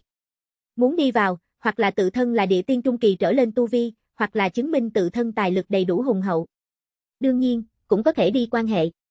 Lúc này Bách Hiểu đấu giá hành bên ngoài, rất nhiều quần áo lộng lẫy người chính từng cái hướng bên trong đi đến. Có xuất ra thiệp mời, cũng có lộ ra lệnh bài, càng có tự giới thiệu. Ly Trường Sinh ba người đi tới cửa lúc, người chung quanh ánh mắt trong nháy mắt tụ tập tới. Đỗ cô nương. Trên một cổ mang theo đại Phật chuỗi hạt tiểu bàn tử trông thấy Đỗ Quỳnh Hoa sau lập tức đôi mắt sáng lên, vội vàng kêu gọi đi tới. Hôm nay Đỗ tiểu thư làm sao có hứng thú tới phòng đấu giá? Hẳn là Hôm nay là có cái gì tốt hàng phải không? Tiểu bàn tử tạc mi thử nhãn nhìn một chút chung quanh, nhỏ giọng nói ra. Lớn như vậy phòng đấu giá muốn tại Tiêu Thành mở đi, tự nhiên là tránh không được phía trên chiếu cố. Mà Tiêu Thành lớn nhất hậu thiên, chính là phủ thành chủ. Cho nên tiểu bàn tử trong nháy mắt liền muốn rất nhiều. Đỗ Quỳnh Hoa nhìn ra đối phương tiểu tâm tư, lắc đầu cười nói, vương công tử suy nghĩ nhiều, ta hôm nay là đơn thuần bồi. Bằng hữu cùng đi. Tiểu bàn tử nghe vậy cũng nhìn về hướng Ly Trường Sinh và Lê Tu Giật. Con mắt quay tròn xoay một vòng, cười hiếp mắt giới thiệu chính mình nói. Tại hạ tiêu thành vương gia thiếu chủ, vương hạo thiên, gặp qua hai vị công tử, không biết hai vị tục danh. Ly Trường Sinh khẽ cười nói, tại hạ Ly Trường Sinh, gặp qua vương đạo bạn. Lê Tu Giật cũng là gật đầu nói, tại hạ Tu Lê, gặp qua đạo hữu. Đối với Lê Tu Giật giấu giếm thân phận sự tình Ly Trường Sinh hai người không ngạc nhiên chút nào, dù sao hoàng tử Hàng Quy đến bên này cảnh thật sự là quá không thể tưởng tượng, tin tức một khi thả ra, đưa tới banh động sợ là không thua thành chủ thay người. Cùng tạo thành không cần thiết dư luận phiền phức, còn không bằng ẩn tàng, bởi vì hắn cùng Ly Trường Sinh một dạng cũng tại Tiêu Thành đợi không được bao lâu. Đỗ tiểu thư, hôm nay khó được chạm mặt không bằng mọi người cùng nhau đi vào như thế nào? Như coi trọng cái gì tại hạ cũng có thể giúp đỡ chút. Đỗ Quỳnh Hoa nghe vậy không có lập tức trả lời, mà là nhìn về hướng Ly Trường Sinh. Ly Trường Sinh không có nhiều lời, chỉ là mỉm cười gật đầu. Tốt, vậy làm phiền Vương công tử. Nhìn thấy Đỗ Quỳnh Hoa lấy đối phương làm chủ bộ dáng, Vương Hạo Thiên đôi mắt chớp lên. Đối với Ly Trường Sinh độ chú y trong nháy mắt kéo căng. Hắn thờ phụng y nghĩa chính là nhiều cái bằng hữu nhiều con đường, có thể làm cho thành chủ thiên kim như vậy đối đãi nhân vật, thân phận tuyệt đối không đơn giản. Ha ha ha, việc nhỏ. Chờ một lát bắt đầu, hai vị công tử có cái gì thấy vừa mắt cứ việc nói với ta, mặc dù không dám hứa chắc cầm xuống, nhưng Vương Mổ cũng sẽ hết sức nỗ lực. Nói xong, Vương Hạo Thiên liền làm trước một bước hướng về trong môn phái đi đến. Trong coi người nhìn thấy Vương Hạo Thiên và Đỗ Quỳnh Hoa, cái gì đều không có nghiệm, trực tiếp cung kính nói. Vương công tử, Đỗ tiểu thư, xin mời. Đi vào cửa lớn, vào mắt chính là một đầu vàng son lộng lẫy hành lang. Hành lang hai bên có thật nhiều môn hộ, tại chỗ ngoặt cuối cùng có hướng lên thang lầu. Vương Hạo Thiên trực tiếp dẫn ba người đi lên lầu 2. Đến lầu 2, vẫn là một đầu hành lang, bất quá lại là triều hai bên uống lượng mà đi hình khuyên hành lang. Lại thường cách một đoạn khoảng cách, đều có một chỗ độc lập xa hoa phòng, tôn quy trình độ không cần nói cũng biết. Tại mỗi cái phòng phía trên đều có một đẹp đẽ thẻ số. Vương Hạo Thiên đứng tại 8, chữ cửa gian phòng cười nói. Vương mổ cho là 8, ngụ y phát, xem như dấu hiệu tốt, cho nên lần nào đến đều nơi này, đổ tiểu thư và hai vị công tử y như thế nào. Lê Tu giật trà sát cái cầm, kinh ngạc nói. 8 và phát thôi. Cảm giác không sai ấy. Cái kia 888, số phòng ở giữa chẳng phải là tốt hơn. Vương Hạo Thiên khóe miệng hơi rút nói. Ách! Vương mổ ngược lại là cũng nghĩ, có thể cái này bách hiểu phách mại hành lầu 2 tối đa cũng liền 30 gian phòng. Ha ha, cũng là. Đẩy cửa ra, đối diện là một rộng rãi sân thượng, có thể thấy rõ ràng phía dưới to lớn phòng đấu giá. Trên mặt bàn thì trưng bày không ít đĩa trái cây, bên cạnh còn có một có khắc 8 chữ quy mô bài.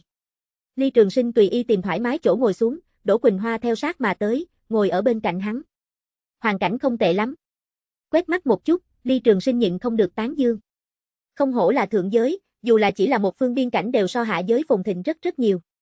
Ly công tử hài lòng thuận tiện. Đỗ Quỳnh Hoa cười rót chén trà nước đẩy lên Ly Trường Sinh trước mặt.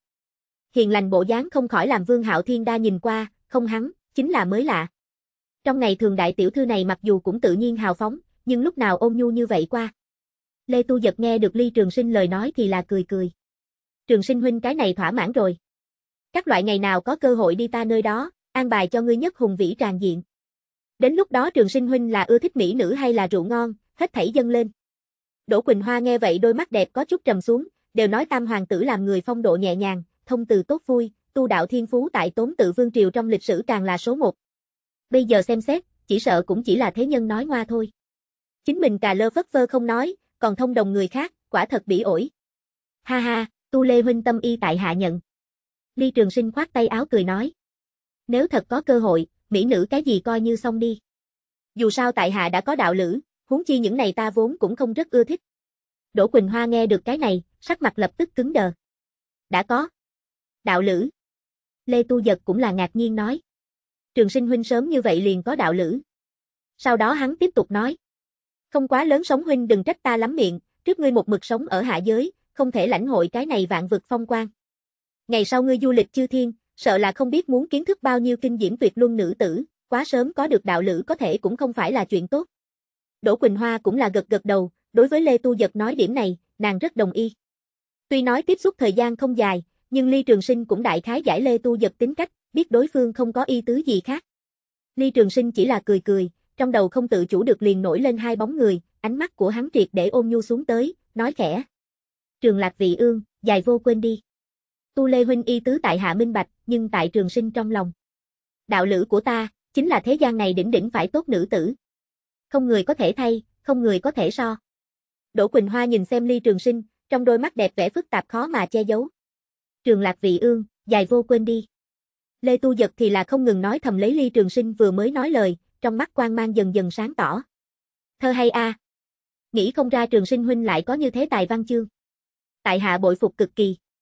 Hắn thuở nhỏ đọc hiểu thơ văn, tự nhiên biết rõ câu nói này hàm nghĩa, cũng nguyên nhân chính là này, đối với ly trường sinh là càng bội phục. Ngắn mũi tám chữ, thể hiện tất cả bao nhiêu vui giận yêu thầm. Chỗ nào, tại hạ cũng chỉ là hiểu sơ mà thôi. Ly Trường Sinh kim tốn cười nói. Mặc dù không phải mình sáng tạo, nhưng thơ văn phương diện, hắn cũng là trang bê, đạo đức giả, lão thủ. Mỗi tiếng nói cử động, đối với khí chất nắm đơn giản không nên quá đúng chỗ. Đang đang đang. Nhưng vào lúc này, phía dưới phòng đấu giá đột nhiên truyền đến một trận thanh âm dồn dập. Chỉ gặp, đài cao bàn nhỏ trước, một vị mặt tịnh lệ mỹ nữ gợi cảm nói ra. Chư vị khách quy, mọi người tốt, hôm nay lại là đào đào A. Bởi vì hôm nay nguồn cung cấp tương đối nhiều, cho nên chúng ta quyết định, sớm bắt đầu đấu giá rồi. Mọi người chuẩn bị kỹ càng dơ bản, có kinh hỉ đâu. Đào đào nói xong, hậu phương liền đi tới một người, dơ lên một che hắc bố để đi tới. Cho mời chúng ta hôm nay cái thứ nhất vật phẩm đấu giá. Ngọc phấn tiên dê. Nói xong, nàng liền đem hắc bố triệt hồi, một cái sinh động như thật màu trắng tinh con dê nhỏ liền phơi bày ra. Cái này ngọc chất con dê nhỏ đầu thiếu một góc, cổ khảm khắc lấy ba viên tảng ra huỳnh quang hạt châu. Phía trước bên phải chân đạp tại một khối tảng đá đen kịt bên trên. Ngọc này son tiên dê vốn là một kiện thiên tiên cấp bậc pháp bảo, bất quá mọi người cũng nhìn thấy, hiện tại đỉnh đầu của nó thiếu một góc, cho nên chỉ có thể phát huy ra địa tiên hậu kỳ uy năng. Có thể cho dù dạng này, nó cũng là hiếm có trấn áp loại pháp bảo A. Mà lại trên cổ còn có ba viên tích xúc năng lượng châu, chỉ cần thực hiện tràn ngập tiên khí, liền có thể không tổn hao gì hao tổn phóng thích ba lần uy năng. Trình độ trân quy cũng không cần đào đào lại nói đi. Chúng ta thẳng vào chủ đề, giá khởi đầu. 100, không không không thượng phẩm tiên thạch. Dứt lời đằng sau, tại lầu hai nơi nào đó phòng trước, một vị nam tử dơ lên lệnh bài, đồng thời bài bên trên tách ra một đạo màu lam to lớn kiểu chữ. Thập nhị vạn.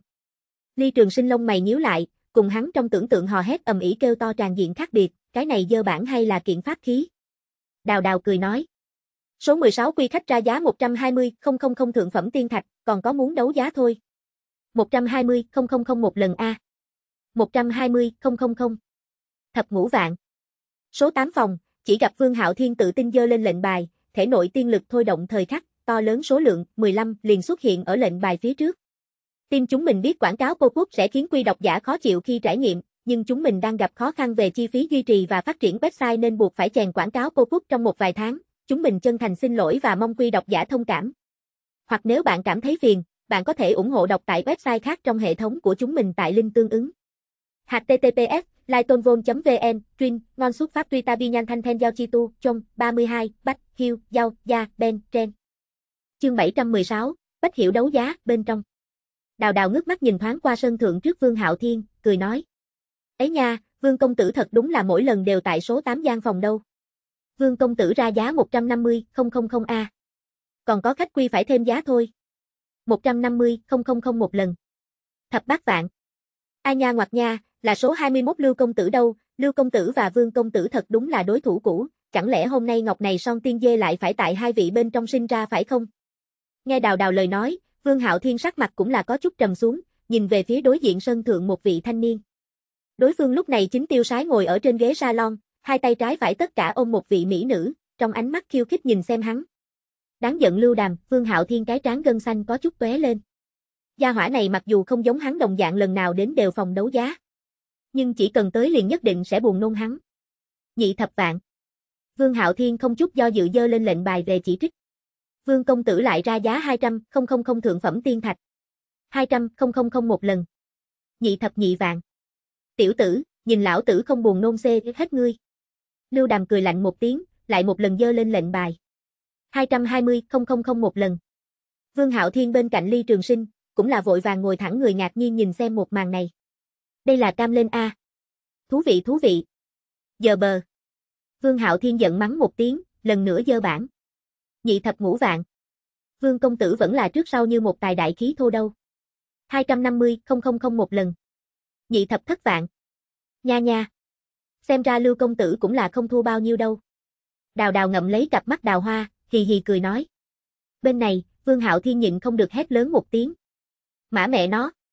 Vừa muốn dơ bản, nhưng Đỗ Quỳnh Hoa thanh âm liền vang lên. Ngọc này son tiên dê tuy là hiếm thấy trấn áp loại pháp bảo, nhưng bây giờ thiếu một góc tối đa cũng liền đáng giá 250, không không không tả hữu, vương công tử như tăng giá nữa không khỏi được không bù mất, như phía sau xuất hiện cái gì vào mắt đồ tốt sợ rằng sẽ vô phúc tiêu thụ. Tiêu thành vương gia cùng phủ thành chủ quan hệ không tệ, mà lại vương hạo thiên trong ngày thường đối với mình cũng là có chút khách khí, mỗi khi gặp khúc mắt đều sẽ tự thân lên môn tặng lễ, cho nên xuất phát từ hảo y đổ Quỳnh Hoa liền nhắc nhở một câu. Vương hạo thiên cũng là lập tức thanh tỉnh lại, hắn nếu là tăng giá nữa, cái kia lưu đàm sợ là liền muốn thu tay lại, mà chính mình cũng sẽ không công thua thiệt xuống cái mấy vạn thượng phẩm tiên thạch, không có lời rất. Thở một hơi thật dài, đè xuống trong lòng tức giận Vương Hạo Thiên gật gật đầu nói cảm tạ. Đa tạ Đỗ tiểu thư nhắc nhở, để hai vị công tử chê cười. Không sao. Ly Trường Sinh khẽ lắc đầu. Có thể Lê Tu Giật thì là ngậm một viên bồ đào nói. Ly Trí phân tích xác thực không sai, có thể khí này chịu trong lòng ngươi không biệt khuất thôi. Nếu là ta liền cùng hắn cam đến cùng, nhìn xem ai có thể chơi qua ai. Vương Hạo Thiên nghe vậy khóe miệng co giật, nhất thời cũng không biết nên làm gì đáp lại. Hắn vương gia mặc dù dồi dào không sai, nhưng này tiên thạch cũng không phải gió lớn thổi tới đó a. Thật muốn mù họa họa, chờ về đi cha hắn có thể đem hắn chân giảm giá. Tu công tử lời nói rất là, nhưng tại hạ tài lực không cho phép a. Vương Hạo Thiên đành phải lúng túng cười làm lành nói. Ấy, ta cứ như vậy nói chuyện, ngươi cũng đừng để vào trong lòng út. Lê Tu giật khoát tay áo cười nói. Ly Trường Sinh thấy vậy cũng là nhịn không được nhếch miệng. Tiểu tử này nhanh mồm nhanh miệng mau bệnh, vẫn rất làm cho người vui. Đỗ Quỳnh nói da mặt khẽ run, làm sao chính mình vừa nhắc nhở xong, con hàng này liền mở miệng phản bác.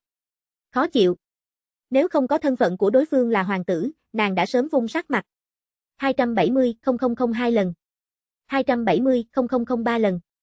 Chúc mừng Lưu công tử cầm xuống Ngọc Chi Tiên Dương. Mặc dù lần này quyết đấu là Lưu công tử hơi chiếm thượng phong, nhưng Vương công tử cũng không nên nản chí, chúng ta phía sau còn có rất nhiều đồ bán a. Đào đào cười tuyên bố xong kết quả sau, trên trận nam tử liền ôm Ngọc Chi Tiên Dương trực tiếp trước mặt mọi người bay đến số 21 bên trong phòng, cung kính đem Ngọc Chi Tiên Dương đặt ở đối phương trên mặt bàn. Đối với Vương Hạo Thiên thu tay lại, Lưu Đàm thì là nhếch miệng, trong lòng hơi có khó chịu.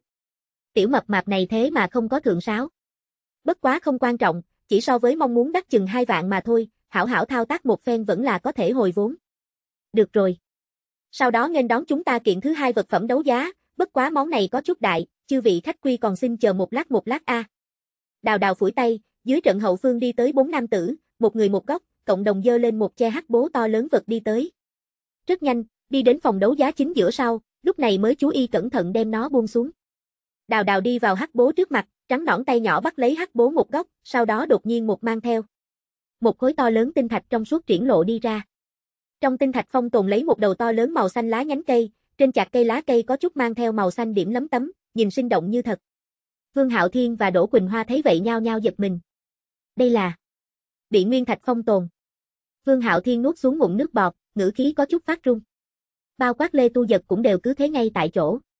Thậm chí ở đây tất cả khách quy đều mắt trợn tròn nhìn xem trên đài cái kia to lớn trong suốt tảng đá, trong lúc nhất thời lại lặng ngắt như tờ. Nhìn xem mắt trợn tròn đám người, đào đào cười một tiếng nói. Xem ra tất cả mọi người hiểu lầm nữa nha. Đây chỉ là một khối trong suốt tinh thạch mà thôi a. Tối đa cũng liền có thể tạm thời phong tồn ở bên trong đống xanh cây hòe nhánh cây linh lực không tiêu tan tràn ra đi, đương nhiên rồi, như thời gian lâu dài cũng là không có cách nào. Nghe xong đào đào lời nói, Vương Hạo Thiên Trường hô một hơi nói. Ta nói sao? Cái này bách hiểu phách mại hành coi như lại ngư bê cũng không có khả năng có con hàng này nguyên A. Ly Trường Sinh nhìn xem đám người phản ứng, hơi nghi hoặc một chút nói. Nguyên thạch rất trân quy A.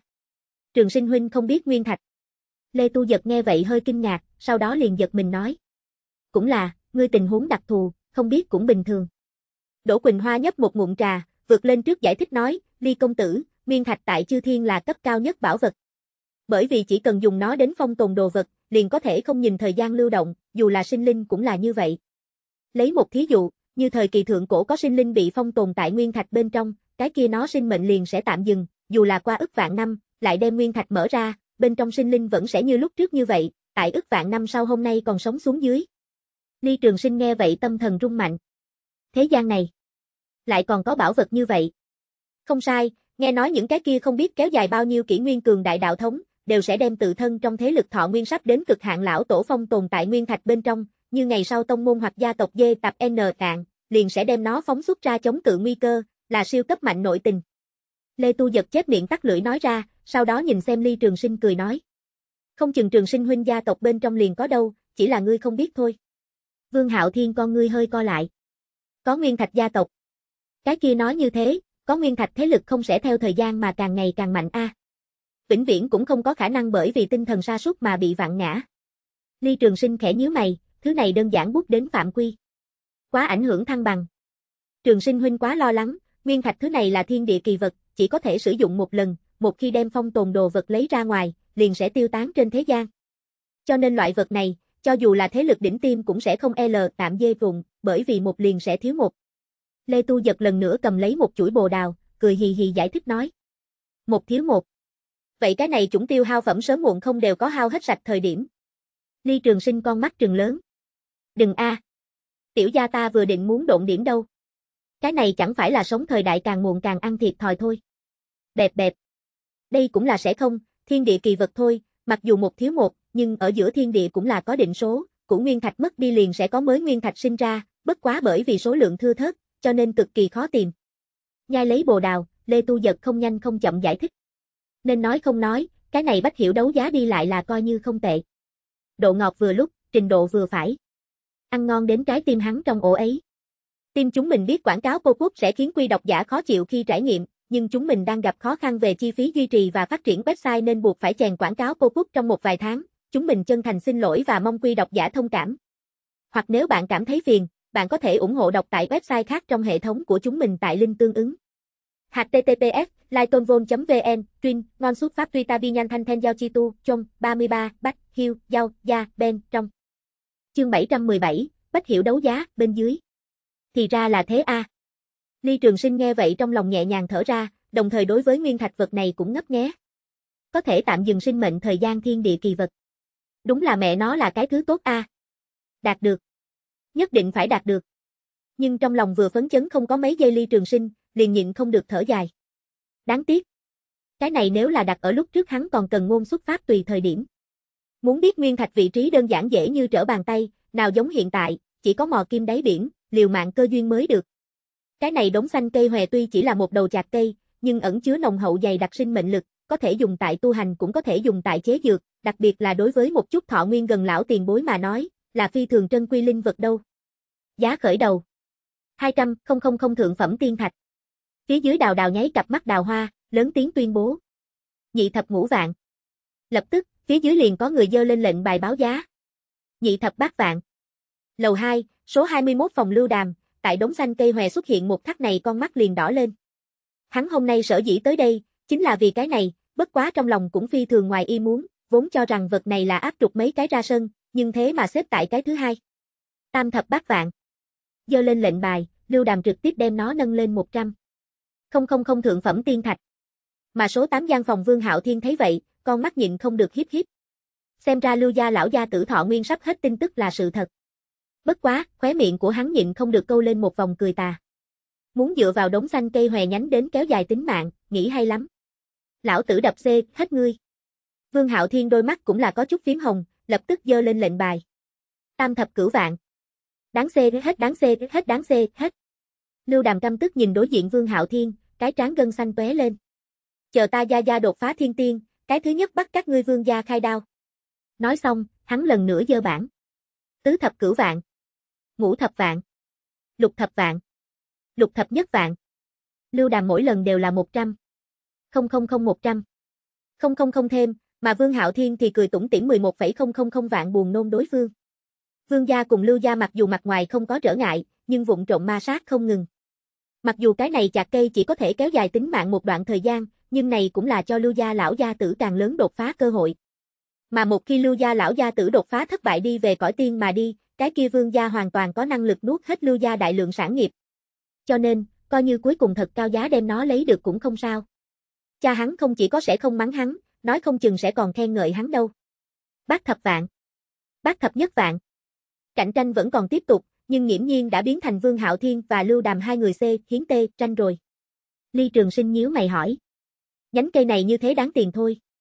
Đống xanh cây hòe mặc dù hãn hữu, nhưng dưới mắt bất quá là đầu chạc cây mà thôi, một khi thoát ly thân cây không chỉ có linh tính tổn hao nhiều, công hiệu cũng tối thiểu giảm xuống 7 thành, nhiều nhất 300, không không không cao nữa là. Đỗ Quỳnh Hoa khẽ lắc đầu cười nói. Chỉ là lưu gia hiện tại vừa vặn cần, cho nên cho dù là một triệu cũng sẽ đem nó cầm xuống. Lê Tu giật khóe miệng lộ ra một đoạn vỏ bồ đào, đập đi miệng nói. Chật chật, muốn kéo dài tính mạng phương thức rất nhiều, nhưng đống xanh cây hòe nhánh ngược lại thật sự là là phung phí của trời, cùng dùng để luyện hóa chẳng chế thành thanh vòng dựng khí đan. Có thể đem nồng hậu dày đặc sinh mệnh lực chất chứa đan điền, đợi đem tự thân tinh khí thần ngưng tụ tốt sau, lại nhất cử đột phá mới là lựa chọn tốt nhất. Nếu không coi như cưỡng ép kéo dài tính mạng, tại thân thể thâm hụt tình huống dưới cứng rắn độ thiên kiếp, sợ là cũng khó thoát khỏi xê cái xê hết.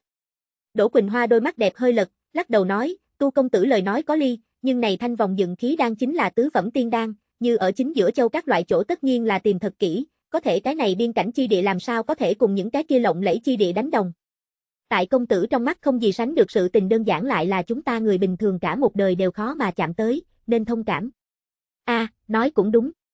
Lê Tu Giật không thể phủ nhận gật gật đầu, sau đó nhíu mày nhìn về phía Đỗ Quỳnh Hoa đạo. Bất quá tại hạ làm sao cảm giác Đỗ cô nương giống như là trong lời nói có chuyện a. Mặc dù nói không có tâm bệnh, nhưng thế nào cảm giác là lạ. Mà lại như không nhìn lầm, vừa mới nàng còn đối với mình liếc mắt đi. Như thế nào? Công tử lo ngại rồi. Đỗ Quỳnh Hoa uống ngụm nước trà, nụ cười sáng lạng. Lê Tu Giật hay là hoài nghi nhìn nàng một cái, suy nghĩ chính mình có phải hay không đắc tội với nàng ở chỗ nào. Nhất bách vạn. Lưu Đàm nắm đấm nắm chặt, cắt gao nhìn chầm chầm đối diện Vương Hạo Thiên, chỉ hận ánh mắt của mình không thể dê giết người. Ha ha, phá phòng. Tiểu tử. Để cho ngươi vừa rồi cùng ngươi vương gia hai người đối nghịch. Nên. Chơi không xê, hết ngươi. Vương Hạo Thiên cười lạnh một tiếng, loại này tại chỗ báo thù cảm giác là thật sự sảng khoái a. Cho dù đống xanh cây hòe nhánh đối với Lưu gia lão gia tử trợ giúp không lớn, nhưng hắn cũng không muốn tùy tiện cho đối phương cơ hội này. Không do dự, tiếp tục dơ bản. 1010000. A a a. Thảo thảo thảo thảo. Phanh. Đầu tức giận đến đỏ bừng lưu đàm hung hăng đập xuống cái bàn. 1,5 triệu. Thật đúng là kịch liệt đâu. Đào đào che miệng khẽ cười một tiếng tiếp tục nói. 1,5 triệu một lần. 151 vạn. Oanh. Vương Hạo Thiên. Ngươi muốn xê hết phải không? Lưu Đàm Triệt để nhịn không được, trực tiếp nở rộ tự thân địa tiên sơ kỳ khí thế, đứng người lên cách không hét lớn. Đào đào ánh mắt nhắm lại, đối với trên đài vận chuyển vật phẩm đấu giá mấy cái người áo đen nháy mắt ra dấu. Ngay sau đó, bốn người áo đen lập tức bay đến số 21 phòng trước. Còn xin Lưu công tử tuân theo phòng đấu giá quy củ, chớ có quấy rầy người khác. Cầm đầu người áo đen sắc mặt nghiêm túc, trầm giọng nói ra. Lưu Đàm nhìn bốn người một chút, mạnh hút khẩu khí, chỉ có thể đè xuống tức giận. Không có cách nào, phòng đấu giá này hắn Lưu gia xác thực không thể trêu vào. Nhị bách vạn. Lão tử cầm nhị bách vạn. Ta xem ai còn dám cản. Nhưng là không khéo. 201 vạn. Vương Hạo Thiên thoải mái ngồi trên ghế, cười hiếp mắt dơ lệnh bài. Phung phí cảm giác thật sự sảng khoái a, còn không cần lo lắng lão đầu tử đánh hắn. Xem ra tranh thủ thời gian kế thừa gia nghiệp mới là chính đạo. Không được trở về cho thêm lão đầu tử tìm mấy cái mỹ nương, thâm hụt thâm hụt tinh khí, chính mình cũng tốt càng sáng sớm hơn vị không phải. Vương. Hạo. Hậu Thiên. Giác băng. Lưu đàm khóe miệng tràn ra máu tươi, răng hàm thành công cắn nát. Tam bách vạn. 301 vạn. Ngũ bách vạn. 501 vạn. Thất bách vạn. Nhìn thấy Lưu Đàm mất trí báo 7 triệu mức, Vương Hạo Thiên lúc này mới lộ vẻ do dự. 7 triệu A.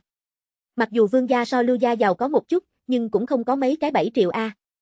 Thôi thôi, nhìn ngươi cố chấp như thế phân thượng, tiểu gia liền thưởng cho ngươi. Vương Hạo Thiên khoát tay áo, một bộ ban ân bộ dáng cười nói. 7 triệu một lần. Biên. Đánh xuống chùi y nhỏ, đào đào hì hì cười nói. Chúc mừng Lưu công tử. Xem ra đống xanh cây hòe nhánh thật đúng là bác người yêu thích a. 7 triệu tại toàn bộ bách hiểu phách mại hành lịch sử đều là chen vào ba vị trí đầu đâu. Tại người áo đen đem đống xanh cây hòe nhánh thu nhập trong những trữ vật đưa cho Lưu Đàm sau. Hắn oán hận nhìn chằm chằm một chút Vương Hạo Thiên, xoay người rời đi. Vương Hạo Thiên đương nhiên chú ý tới, bất quá hắn cũng không thèm để ý. Dù sao hai nhà quan hệ đều như vậy, có hay không vấn đề này không có khác biệt lớn. Sau đó nghênh đón chúng ta kiện thứ ba đồ bán. Đằng sau mấy món mặc dù nhìn rất sức tưởng tượng, nhưng xa xa không đuổi kịp đống xanh cây hòe tới kịch liệt. Ly Trường Sinh cũng mượn cơ hội này nhìn lâu nhìn thượng giới này bảo vật. Tiếp xuống cái này vật phẩm đấu giá chư vị khách quy nhất định nghĩ không ra. Dưới đài, một vị người áo đen bưng một làm bằng gỗ đĩa chậm rãi đi tới. Lai lịch của nó có thể rất lớn a. Còn chiếm được chúng ta chi nhánh lão bản đặc biệt chú ý a. Đáng tiếc đào đào tiền lương không đủ, không phải vậy nhất định cũng muốn tranh thủ một chút. Đào đào có chút tiếc núi thở dài, sau đó lại lộ ra mê người nét mặt tươi cười, duỗi ra trắng nõn tay nhỏ đem hắc bố để lộ. Bá. Hai khối có chút quyển bên cạnh ố vàng da hiển lộ mà ra. Đây chính là chúng ta hôm nay áp trục đồ bán. Khuê La Gia Trâu. Lời này vừa nói ra, toàn trường lập tức yên lặng lại. Ngay sau đó. Hoa. Ta không nghe lầm chứ. Là. Khuê La Gia. Có thể truyền thuyết Khuê La không phải màu xanh sao? Này làm sao vàng không kéo vài đó a? Thật hay giả? Đào đào thấy mọi người tiếng vọng sau, cười giải thích nói. Biết mọi người đang nghi ngờ cái gì, mặc dù lịch sử ghi chép Khuê La là toàn thân làn da màu xanh, nhưng cái này sở dĩ bày biện ra tại cái này nhan sắc, là bởi vì lúc trước chém dê biết đầu này Khuê La vị cường giả kia lúc công kích lưu lại VGT hương, nội bộ tổ chức đã hư hao không cách nào chữa trị. Cho nên nó không hề giống bình thường Khuê La da như vậy có thể lặp lại sử dụng, chỉ có thể một lần a. Bất quá cho dù là vật chỉ dùng được một lần, nó cũng là chân chính Khuê La da trâu đâu. Trình độ trân quy cũng không cần đào đào nói tỉ mỉ đi, chư vị khách quy, giá khởi đầu một triệu thượng phẩm tiên thạch u. Đào đào nói xong, lập tức xuất hiện mấy cái dơ bản người. 1010000. 1,1 triệu. 113 vạn. Lê Tu Giật lúc này khó được ngồi thẳng người, hiếp con mắt nhìn chầm chầm trên trận cái kia hai khối da trâu đối với Vương Hạo Thiên nói.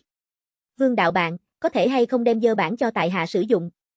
Vương Hạo Thiên mặc dù cũng nghĩ thử một chút có thể hay không có thể bắt được, nhưng nghe đến Lê Tu Giật lời nói sau, hay là ngoan ngoãn đem lệnh bài đưa cho đối phương.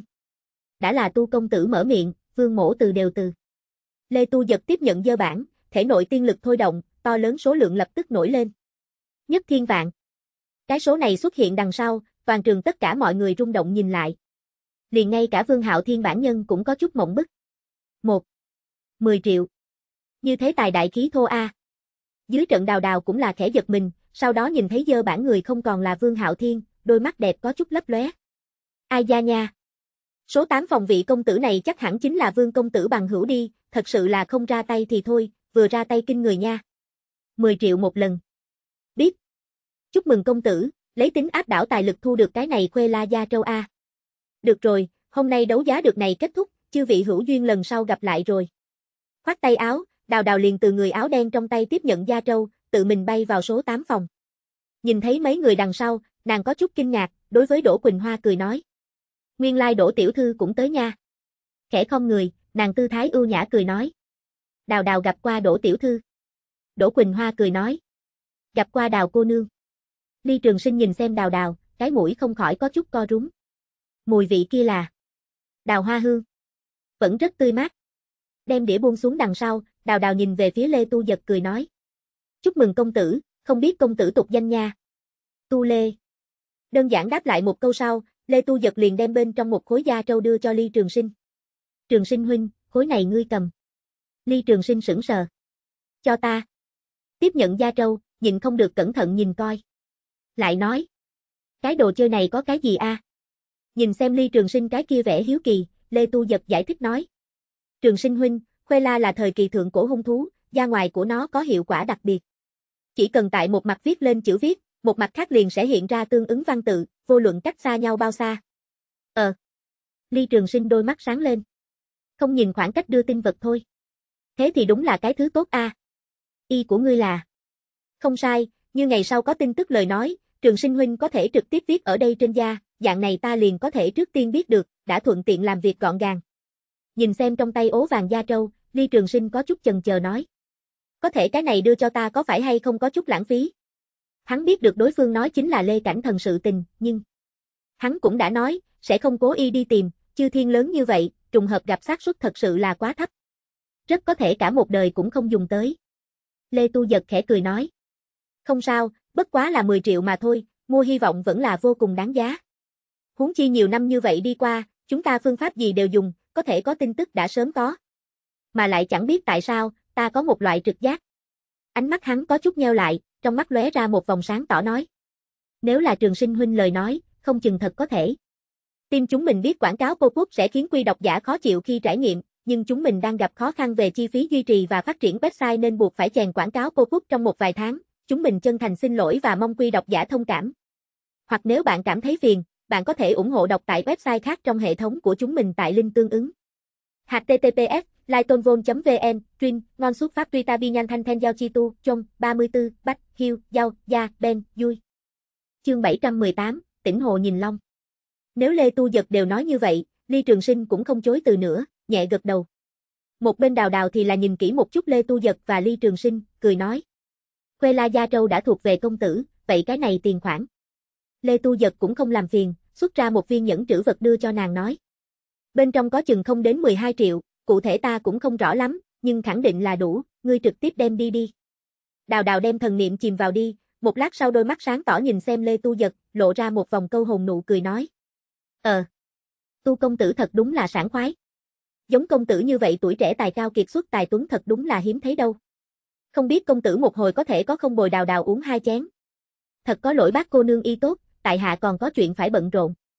Lê Tu giật lần nữa hướng trong miệng ném vào một viên bồ đào, một bên nhai vừa nói. Đào đào trong mắt lóe lên một vòng vẻ thất vọng, sau đó khẽ không người. Cái kia nô gia sẽ không quấy rầy chư vị rồi. Nói đi, nàng liền rời đi gian phòng. Trước khi đi không biết là vô tình hay là cố ý uống éo hai lần bờ mông. Cho Vương Hạo Thiên nhìn thẳng nuốt nước miếng. Lê Tu giật gặp hắn bộ dáng này nhìn không được treo ghẹo nói. Ta nhìn Vương công tử ngược lại là thật muốn cùng đối phương uống rượu, vừa mới vì sao không lên tiếng. Tu công tử cũng đừng mang ta ra đùa giỡn. Vương Hạo Thiên cười khổ nói. Cái này đào đào thân phận thật không đơn giản, chính là phòng đấu giá này cửa hàng trưởng thân nữ nhi, ta nếu là dám có y đồ với nàng trở về cha ta đến đào ta gia. Nghe vậy, Lê Tu Giật chỉ là cười cười không nói thêm gì nữa. Cái này bách hiểu phách mại hành dù là chỉ là chi nhánh, có thể trúng liền châu đều không chen vào được thế lực, đối với hắn mà nói cũng không có gì tốt tìm tòi nghiên cứu. Từ bách hiểu phách mại hành sau khi ra ngoài, Vương Hạo Thiên liền vội vội vã đi về nhà, hắn phải nhanh đem chính mình xác định sự tình bảo hắn biết cha. Sau đó một nhóm ba người lần lượt đi dạo cửa hàng đang dược, khí cửa hàng, quán trà chờ chút địa phương. Đợi cho sắc trời triệt ám chi lúc, Đỗ Quỳnh Hoa liền đề nghị đi xem đèn đùa giỡn. Ly Trường Sinh tự nhiên không có gì dị nghị, Lê Tu Giật càng là giơ hai tay đồng ý. Ban đêm tiêu thành cũng rất là náo nhiệt, mặc dù không nói giăng đèn kết hoa, nhưng ven đường cũng đều có rất nhiều tảng ra huỳnh quang tảng đá, sắp xếp quy tắc, đem khu phố nhu hòa chiếu sáng. Ly Trường Sinh nhìn xem một màn này trong lòng âm thầm ghi lại, hỏi. Đỗ cô nương, những đường này bên cạnh phát sáng tảng đá là cái gì? Những cái kia đều gọi ống ánh thạch, bởi vì bản thân liền là rất thường gặp một loại khoáng thạch lại tự mang quang mang, mặc dù không nói nhiều lượng, nhưng dùng để làm đăng sức vừa vặn. Đỗ Quỳnh Hoa cẩn thận giải thích nói. Trong lòng cũng đối với Ly Trường Sinh đã từng vị trí hạ giới cảm thấy hiếu kỳ. Theo đạo Ly, huỳnh thạch loại vật này dù là ở hạ giới hẳn là cũng không tính thưa thất mới đối, Ly công tử đi qua đợi địa phương đến tột cùng là nơi nào đâu. Lê Tu Giật giống như cùng Đỗ Quỳnh Hoa tâm có linh tê giống như nghĩ đến cùng một chỗ, hắn há mồm liền hỏi. Trường sinh huynh, ngươi trước kia sinh hoạt hạ giới ở đâu a? Tên gọi là gì? Ly Trường Sinh nhớ lại hãng hậu thiên thế giới, khóe miệng không tự chủ phủ lên một vòng mỉm cười nói. Ta ngốc địa phương A. Nó gọi hãng hậu thiên thế giới, ở vào vô thương tiên vực. Thật muốn nói đến lời nói đã từng cũng là một chỗ thượng giới, bất quá bị thay đổi nhỏ thành cửu thiên cùng thập địa phân chia. Cửu thiên là chỉ có cường đại thế lực mới có tư cách ngừng chân địa phương. Cũng là tài nguyên linh lực nhất là nồng hậu dày đặc chi địa, thập địa thì hơi kém một chút. Bất quá về sau toàn bộ thế giới đều bị một vị nào đó cường giả lấy đại pháp lực phong tỏa ngăn cản đạo vận, đồng thời cũng đem phương thế giới kia triệt để cùng ngoại giới ngăn cách. Bên trong thế lực bởi vì tài nguyên các loại vấn đề bắt đầu không ngừng chinh chiến, cuối cùng cửu thiên cùng thập địa triệt để sụp đổ. Bị khóa lại đạo vận cửu thiên, bởi vì chinh chiến thành một chỗ di tích chi địa. Mà thập địa cũng chân chính biến thành một phương hạ giới, về sau lại bởi vì một ít nguyên nhân để thế giới thiên đạo phá toái, dẫn đến phi thăng càng là gian nan.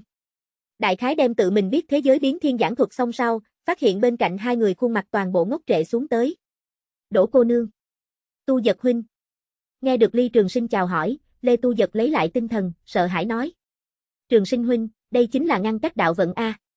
Nếu không có thủ đoạn đặc thù, cho dù là nhập đạo chí tôn đều làm không được sự tình, vị cường giả kia đến tột cùng là lai lịch gì. Ly Trường Sinh miễn cười, không có lại nhiều nói. Cổ ma đã từng là đỉnh phong chí tôn, thân là ma tộc đầu nguồn, càng là có đặc biệt chí thuần ma khí, đích thật là bình thường chí tôn không cách nào so sánh tồn tại. Ta lần đầu tiên trong đời đối với một hạ giới cảm thấy hứng thú, có cơ hội nhất định phải đi nhìn xem. Lê Tu giật trong mắt lóe ra chờ mong chi y, hưng phấn nói. Vô thương tiên vực hãng hậu thiên. Chờ chút. Ngay sau đó, Lê Tu Giật đột nhiên trừng to mắt nhìn về phía Ly Trường Sinh. Trường Sinh huynh, ngươi nói. Ngươi đến từ vô thương tiên vực. Ly Trường Sinh khẽ gật đầu. Ngoạ tào. Chúng ta bây giờ là tại vạn tướng Phật vực A, vô thương tiên vực tại vạn vực nhất bên kia. Trong lúc này khoảng cách có thể nói là vượt ngang toàn bộ chư thiên. Bởi vì một ít duyên cớ, chúng ta lầm chạm trận pháp, liền trực tiếp bị truyền đến bên này. Nói đến đây, Ly Trường Sinh cũng là nở nụ cười khổ. Có thể bố trí xuống bao trùm toàn bộ chư thiên truyền tống trận, liền xem như ngẫu nhiên, cũng không thể không nói cái kia thi tà lão nhân xác thực rất cường đại. Chuyện phím ở giữa, Đỗ Quỳnh Hoa cũng mang theo hai người đi tới địa phương. Trước mặt là một tòa cùng loại cửa thành vòng cầu, cửa hang đứng đấy một chút người mặc hồng y nhân viên, phàm là người tiến vào đều muốn giao nạp một chút tiền tệ. Vòng cầu phía trên khắc lấy ba chữ to. Vọng đăng hồ. Đỗ Quỳnh Hoa mang theo hai người đi tới gần, mặc áo đỏ người vội vàng cười bồi nói. Đỗ tiểu thư hôm nay rảnh rỗi đến xem đèn đùa giỡn. Mau mau mời đến. Nàng khẽ gật đầu liền dẫn ba người đi vào, lần này cũng không có trả tiền. Bởi vì cái này vọng đăng hồ vốn là phủ mới thành chủ sản nghiệp, nàng xem như nơi đây tiểu lão bản. Tiến vào vòng cầu, đập vào mắt một đầu dài dòng hành lang, tường đỉnh thường cách một đoạn khoảng cách đều có khảm huỳnh thạch, đồng thời hai bên còn mang theo đẹp đẽ đèn lồng, rất là mỹ lệ. Đi đến cuối cùng, thẳng lên bước bậc thang, chính là bước vào một tòa điêu khắc thiết kế lầu cát. Đăng đỉnh đằng sau, một trận gió nhẹ thổi qua, Ly Trường Sinh đôi mắt không khỏi sáng lên. Lầu cát cũng không tính chí cao nhất, nhưng rất rộng lớn, lại mặt hướng hồ nước, nơi xa thanh sơn ẩn hiện, cảnh sắc hợp lòng người. Trên mặt hồ chở đèn lồng thuyền nhỏ bồng bềnh, số lượng không nhiều không ít, đã náo nhiệt lại không lộ vẻ nhộn nhịp. Bầu trời đêm lẻ tẻ tô điểm, mặt hồ thuyền nhỏ dập dần, phong cảnh. Như vẽ. Tại thưởng thức khu trên ghế vừa mới ngồi xuống, liền có mặc áo đỏ người tới đưa lên rượu và ăn uống. Nhìn xem trên bàn bồ đào, Lê Tu giật đôi mắt sáng rõ, vội vàng cầm một viên ném vào trong miệng. Bẹp bẹp. Hay là cái kia vị? Cái này tiêu thành bồ đào, quả thật đặc sắc đứng đầu cũng. Xem ra trở về cần cùng cẩn thúc đề nhất đề đối với cái này biên cảnh phát triển, chờ nhập thư viện cũng tốt hàng năm đều cho ta đưa một chút bồ đào ăn. Đỗ Quỳnh Hoa rót một chén rượu nước, đẩy lên ly trường sinh trước mặt. Ly trường sinh cảm ơn một tiếng, cầm chén rượu lên đối với trước mặt cảnh đẹp uống một hớp. Ly công tử. Đỗ Quỳnh Hoa đôi mắt đẹp lấp lóe, Chu thần khẽ mở nói. Một ngày này xuống tới, còn hài lòng. Tự nhiên, vô luận là phủ thành chủ khoản đãi, hay là tiêu thành náo nhiệt phố xá, đều để tại hạ mở rộng tầm mắt, là một lần thể nghiệm khó được. Ân. Đặc biệt là đèn này đùa giỡn, coi là thật nhất tuyệt. Ly Trường Sinh nhìn xem trên mặt hồ đèn lồng có chút mê mẩn. Người chèo thuyền bọn họ chẳng biết lúc nào tụ ở cùng nhau, vây quanh một mỹ lệ đồ án. Bọn hắn gậy gỗ dơ cao lên đèn lồng, một chuỗi tiếp một chuỗi múa lên. Tại dưới bầu trời đêm không ngừng chiếu rọi, phản phất là một đầu màu đỏ trường long ở trên mặt hồ vui vẻ chơi đùa. Nhìn xem Ly Trường Sinh bên mặt, Đỗ Quỳnh Hoa đôi mắt đẹp lưu chuyển, một lúc lâu sau, trong lòng một ít tạp niệm lặng yên rõ ràng tán. Nàng lắc đầu, khẽ cười một tiếng, cũng quay đầu nhìn lên đèn đùa giỡn. Nghĩ không ra. Lần đầu tiên tâm động, đến lần đầu tiên buông xuống, lại vẻn vẹn phát sinh ở một ngày này ở giữa. Nhìn qua trên mặt hồ không ngừng xê dịch hồng long, Đỗ Quỳnh Hoa khóe miệng hơi nhếch. Đời này có thể gặp công tử một mặt, đã là chuyện may mắn, sao lại dám yêu cầu xa vời quá nhiều. Chỉ hy vọng, tại công tử về sau nhàn hạ trong thời gian, có thể ngẫu nhiên nhớ lại cái này, tỉnh hồ nhìn long, đèn đùa giỡn. Tiện túc hỉ. Tin chúng mình biết quảng cáo cô quốc sẽ khiến quy độc giả khó chịu khi trải nghiệm, nhưng chúng mình đang gặp khó khăn về chi phí duy trì và phát triển website nên buộc phải chèn quảng cáo cô quốc trong một vài tháng. Chúng mình chân thành xin lỗi và mong quy độc giả thông cảm. Hoặc nếu bạn cảm thấy phiền, bạn có thể ủng hộ đọc tại website khác trong hệ thống của chúng mình tại link tương ứng. https lightonvol.vn, Trin, ngon xuất pháp truy ta bi nhan thanh then giao chi tu, trong 35, tinh, ho, nhìn, long. Chương 719, một y nghĩ sai lầm. Chờ trở lại phủ thành chủ, đã tới đêm khuya. Ly Trường Sinh trở lại trạch viện thời điểm, nhìn thấy Phan Bân đang ngồi ở trong viện uống nước trà. Mà Hạng Cẩm thì là nằm tại nóc nhà, bên cạnh thả bầu rượu, đón ánh trăng nghỉ ngơi lấy. Bân tiền bối là đang chờ ta. Phan Bân một bên sờ lấy tiểu bạch đầu một bên gật đầu cười nói. Không sai, hôm nay lão phu cẩn thận nghĩ nghĩ, vẫn cảm thấy có chuyện hẳn là nói cho ngươi nói. Đi đến bên cạnh cái bàn đá tọa hạ, rót chén trà nước, Ly Trường Sinh cười nói. Bân tiền bối cùng tiểu tử không cần che lấp, có lời gì cứ nói đừng ngại. Nói là một sự kiện, nhưng kỳ thật xem như ta một điều thỉnh cầu đi. Phan Bân trầm ngâm chốc lát nói. Bất quá đang nói trước đó, ta muốn hỏi hỏi ngươi. Có muốn hay không đi kỳ võ thư viện? Đi kỳ võ thư viện.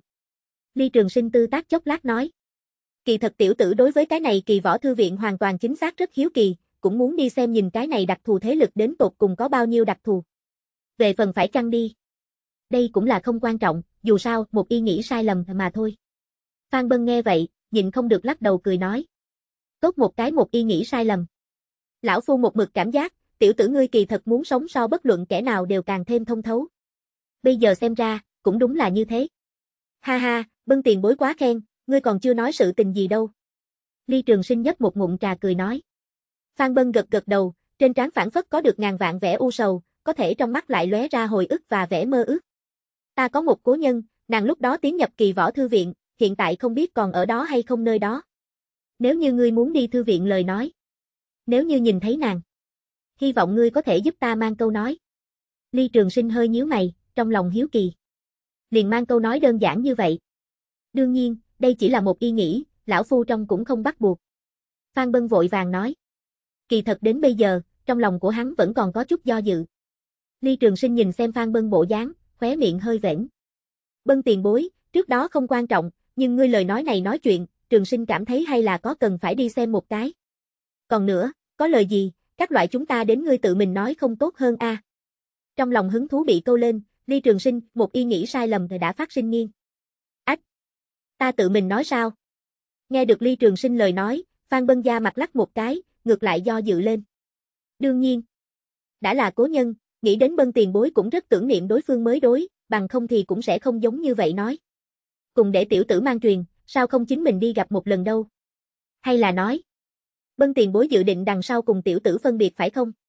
Ly Trường Sinh nhíu nhíu mày, hồ nghi nói. Thế thì sẽ không, ta chỉ là thật không dám đi gặp nàng mà thôi. Phan Bân sắc mặt ửng đỏ, ngượng ngùng nói. Lời này vừa nói ra, Ly Trường Sinh đôi mắt lập tức sáng lên. Lão tiểu tử này trạng thái không thích hợp a. Cố nhân kia. Chẳng lẽ là nợ tình? Hắc hắc. Nghĩ đến cái này, Ly Trường Sinh tay phải nắm tay, đối với bàn tay trái vỗ, lớn tiếng nói. Tốt. Vậy liền quyết định. Trạm tiếp theo, kỳ võ thư viện. Phan Bân, ấy ấy. Như thế qua loa a. Không còn suy nghĩ một chút. Nhìn xem kích động Phan Bân, Ly Trường Sinh bình tĩnh ngồi tại nguyên chỗ nhấp một ngụm trà cười nói. Bân tiền bối, không biết ngươi cái này cố nhân là ai vậy? Có thể hay không nói một chút? Đến lúc đó gặp nhau, Trường Sinh cũng tốt làm đến trong lòng hiểu rõ không phải. Phan Bân khóe miệng co giật. Tiểu tử này. Một lát sau, hắn lắc đầu thở dài cười nói. Thôi, lão phu liền nói cho ngươi lẩm bẩm nói lẩm bẩm đi. Nóc nhà hạng cẩm, lúc này đôi mắt chậm rãi mở ra một cái khe hở, lỗ tai rất nhỏ giật giật. Phan Bân trong đôi mắt mang theo nồng đậm hồi ức và tưởng niệm chi sắc, thanh âm hơi có vẻ khàn khàn mở miệng nói. Khi đó lão phu còn rất trẻ, vừa mới đột phá địa tiên không lâu, lịch duyệt tuy có không đủ, có thể lá gan lại lớn. Tại một chỗ hoang vu phế tích lòng đất, tuổi trẻ Phan Bân nhìn trước mắt cửa đá nhịn không được cười to nói. Ha ha ha ha. Phát phát. Nghĩ không ra vừa mới phi thăng, thế mà liền để ta bắt được một tòa tiên mộ. Cửa đá phía trên khắc lấy hai cái chữ to, về tiên. Cẩn thận kiểm tra một phen chung quanh, bảo đảm nơi đây bởi vì thời gian quá lâu dài, tất cả cơ quan toàn bộ mất đi hiệu lực về sau, Phan Bân xoa xoa tay, rốt cục mong đợi đẩy ra cửa đá. Chính là chính là nhỏ, nhìn bộ dạng này hẳn là một cái viễn cổ đại mộ không tệ, nghĩ không ra ta Phan Bân lại có cơ duyên như thế. Quả nhiên, trọng mộ mới là ổn thỏa nhất an toàn thu hoạch được tài nguyên phương thức A. Ù ù. Không nhìn trên cửa rơi xuống bụi đất cát đá, Phan Bân đi thẳng vào. Trong tay xuất ra một viên đặc chế huỳnh thạch, đem chung quanh chiếu sáng. Bất quá trước mắt một màn lại làm cho mày nhăn lại. Bên trong cũng không có theo dự liệu tiên thạch bảo khí, rộng lớn không gian hơi có vẻ trống trải. Phía trước là một chỗ to lớn đài cao, bốn phương tám hướng là chỉnh thể tương liên bậc thang. Trên đài cao, giống như ẩn ẩn có sáng ngời. Này làm sao? Giống như là một tòa tế đàn. Nói thầm một tiếng, Phan Bân chậm rãi đạp vào thềm đá, hướng phía trên đi đến. Đi đến đỉnh đằng sau, là một chỗ rộng rãi bình đài. Chính giữa bình đài, là một viên to lớn lại tản ra vần sáng hình tròn lồng ánh sáng, bên trong là cái gì căn bản thấy không rõ lắm. Xung quanh vây có một đầu lỗ khảm, trong rãnh lẻ tẻ để đó một chút tiên thạch, ngay tại chậm rãi phát sáng. Phan Bân liếc mắt liền nhìn ra đến, những tiên thạch này đều là duy trì trung ương lồng ánh sáng kia năng lượng. Ông không có khả năng tay không mà về tín niệm, Phan Bân đem tất cả tiên thạch thu sạch đi. Quả nhiên, không có năng lượng ủng hộ lồng ánh sáng lập tức tán đi. Một cái cự đại lại không quy tắc tinh thạch hiển lộ tại Phan Bân trước mắt, để hắn giật mình tại nguyên chỗ. Không phải là bởi vì viên tinh thạch này, mà là trong tinh thạch. Lại ngồi xếp bằng một vị nữ tử. Nữ tử này khuôn mặt cực đẹp, biểu lộ an nhàn, giữa cái trán còn ấn có một đóa hoa hồng. Phan Bân nhìn ngây người. Hắn khi nào gặp qua loại tràng diện này? Nơi đây coi như không phải cổ mộ, coi như suy đoán của hắn mà nói, cũng hẳn là thời kỳ viễn cổ xây, thời gian dài như vậy đi qua. Làm sao có thể còn sẽ có người ở bên trong? Hắn hiếu kỳ đi ra phía trước, duỗi ra ngón tay sờ lên viên kia trong suốt tinh thạch thầm nói. Ngoan ngoãn. Đây rốt cuộc là cái thứ gì? Suy tư một lát, Phan Bân cười hắc hắc. Quản hắn là cái gì? Thời kỳ viễn cổ đồ vật, cái này muốn xuất ra đi không biết đến có thể bán bao nhiêu đấy. Nói đi, hắn liền muốn đem tinh thạch liên quan người ở bên trong cùng nhau thu nhập những trữ vật. Có thể lập tức, lông mày của hắn liền nhíu lại. Thu không vào đi. Cái này sao có thể? Trừ vật sống bên ngoài, những trữ vật hẳn là đều có thể thu nhập mới đối. Chẳng lẽ? Một cổ đáng sợ y nghĩ tại Phan Bân trong đầu xoay quanh, hắn con ngươi co vào, nhịn không được lui lại hai bước. Sau đó nhanh chân liền hướng bên ngoài chạy. Đúng lúc này. Ken két. Một trận thanh âm vỡ vụn vang lên, Phan Bân cả trái tim đều nắm chặt. Quanh. Sau một khắc, tinh thạch triệt để sụp đổ. Cường đại kình phong đem Phan Bân hất bay ra ngoài, cả người trực tiếp từ trên đài cao rơi xuống. Mặc dù rơi toàn thân đau đớn, nhưng hắn không dám lên tiếng, che miệng tiếp tục chạy ra ngoài cửa. Mà trên đài cao, nguyên bản trong tinh thạch nữ tử có chút mờ mịt nhìn chung quanh, ngay sau đó liền cảm giác được Phan Bân khí tức, nàng đôi mắt nhắm lại, thân ảnh bỗng nhiên biến mất tại nguyên chỗ. Bá. Ngay tại chạy trốn Phan Bân nhìn trước mắt đứng yên nữ tử, kém chút đem hồn dọa bay. Một lão đảo té ngã trên đất.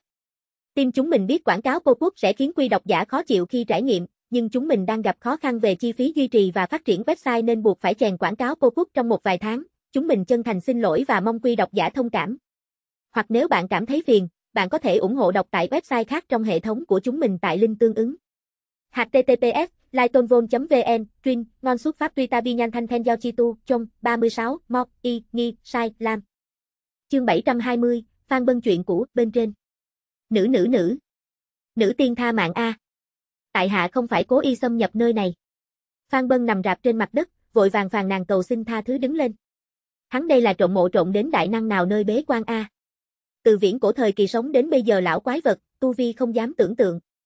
Nữ tử nhìn xem Phan Bân, trên dưới dò xét một phen sau, mở miệng nói ra. Đêm nay là năm nào? Tha mạng A tha. Ấy. Phan Bân sững sờ, chảy nước mũi ngẩng đầu nhìn đối phương.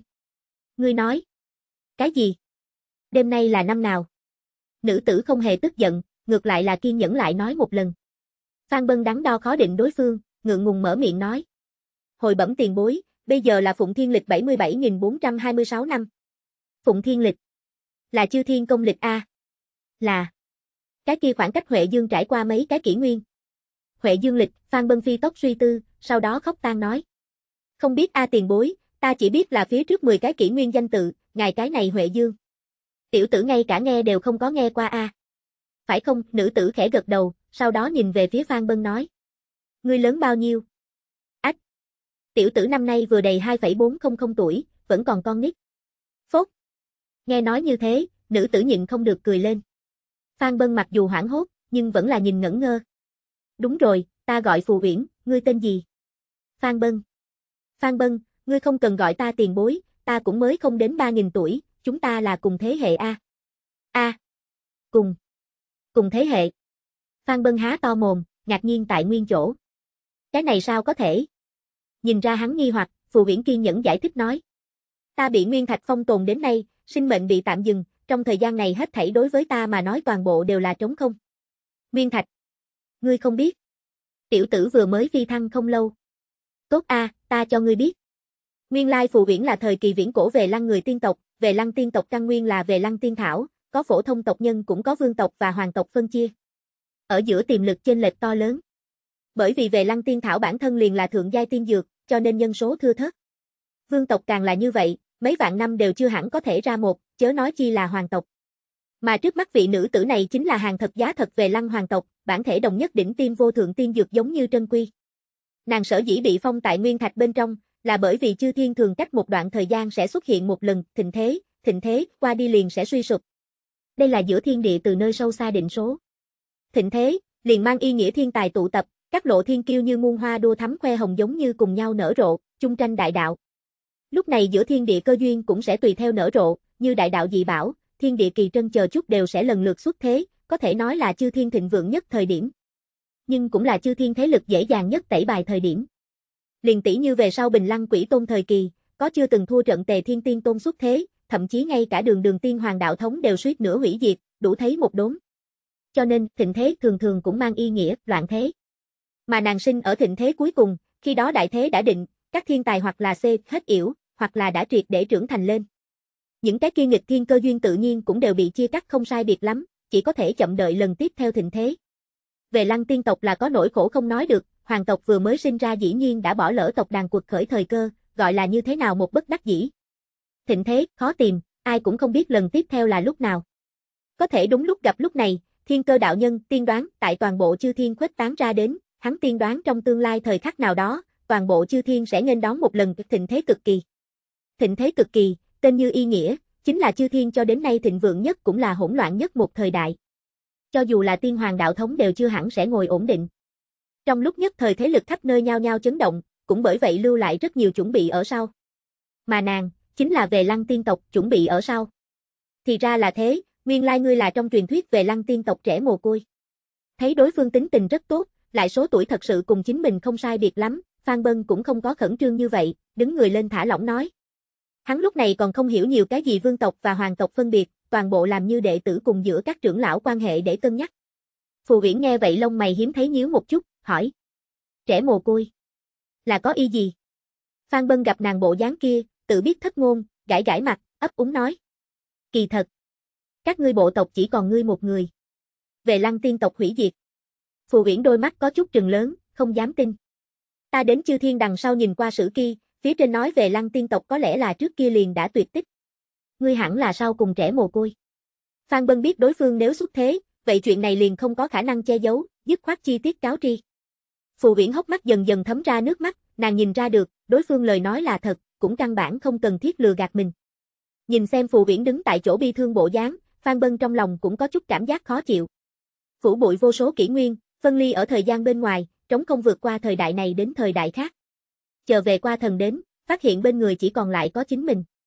Loại cảm giác cô độc kia hắn chưa từng trải nghiệm, nhưng cũng hiểu biết cũng không tốt đẹp gì. Ai? Thở dài, Phan Bân từ trong nhẫn trữ vật xuất ra một đầu khăn tay đưa cho đối phương, an ủi. Đừng khó qua, thiên hạ này to lớn, ngươi luôn có thể tìm tới người nhà mới. Người nhà mới, Phù Viễn nói thầm một tiếng, sau đó tiếp nhận khăn tay nói tiếng cảm ơn. Xoa xoa khuôn mặt nước mắt, nàng kéo ra một vòng nụ cười nói. Không có việc gì, kỳ thật sớm tại nhập nguyên thạch một khắc này, ta liền đã có cái này chuẩn bị. Tự biết từ nay về sau sợ là sẽ không còn được gặp lại cha mẹ, chỉ là ngay cả tộc nhân cũng đều biến mất để cho ta có chút hoảng hốt. Ngươi có thể nghĩ như vậy liền tốt nhất rồi. Phan Bân gật gật đầu cười nói. Đúng rồi, ngươi đằng sau muốn đi đâu a?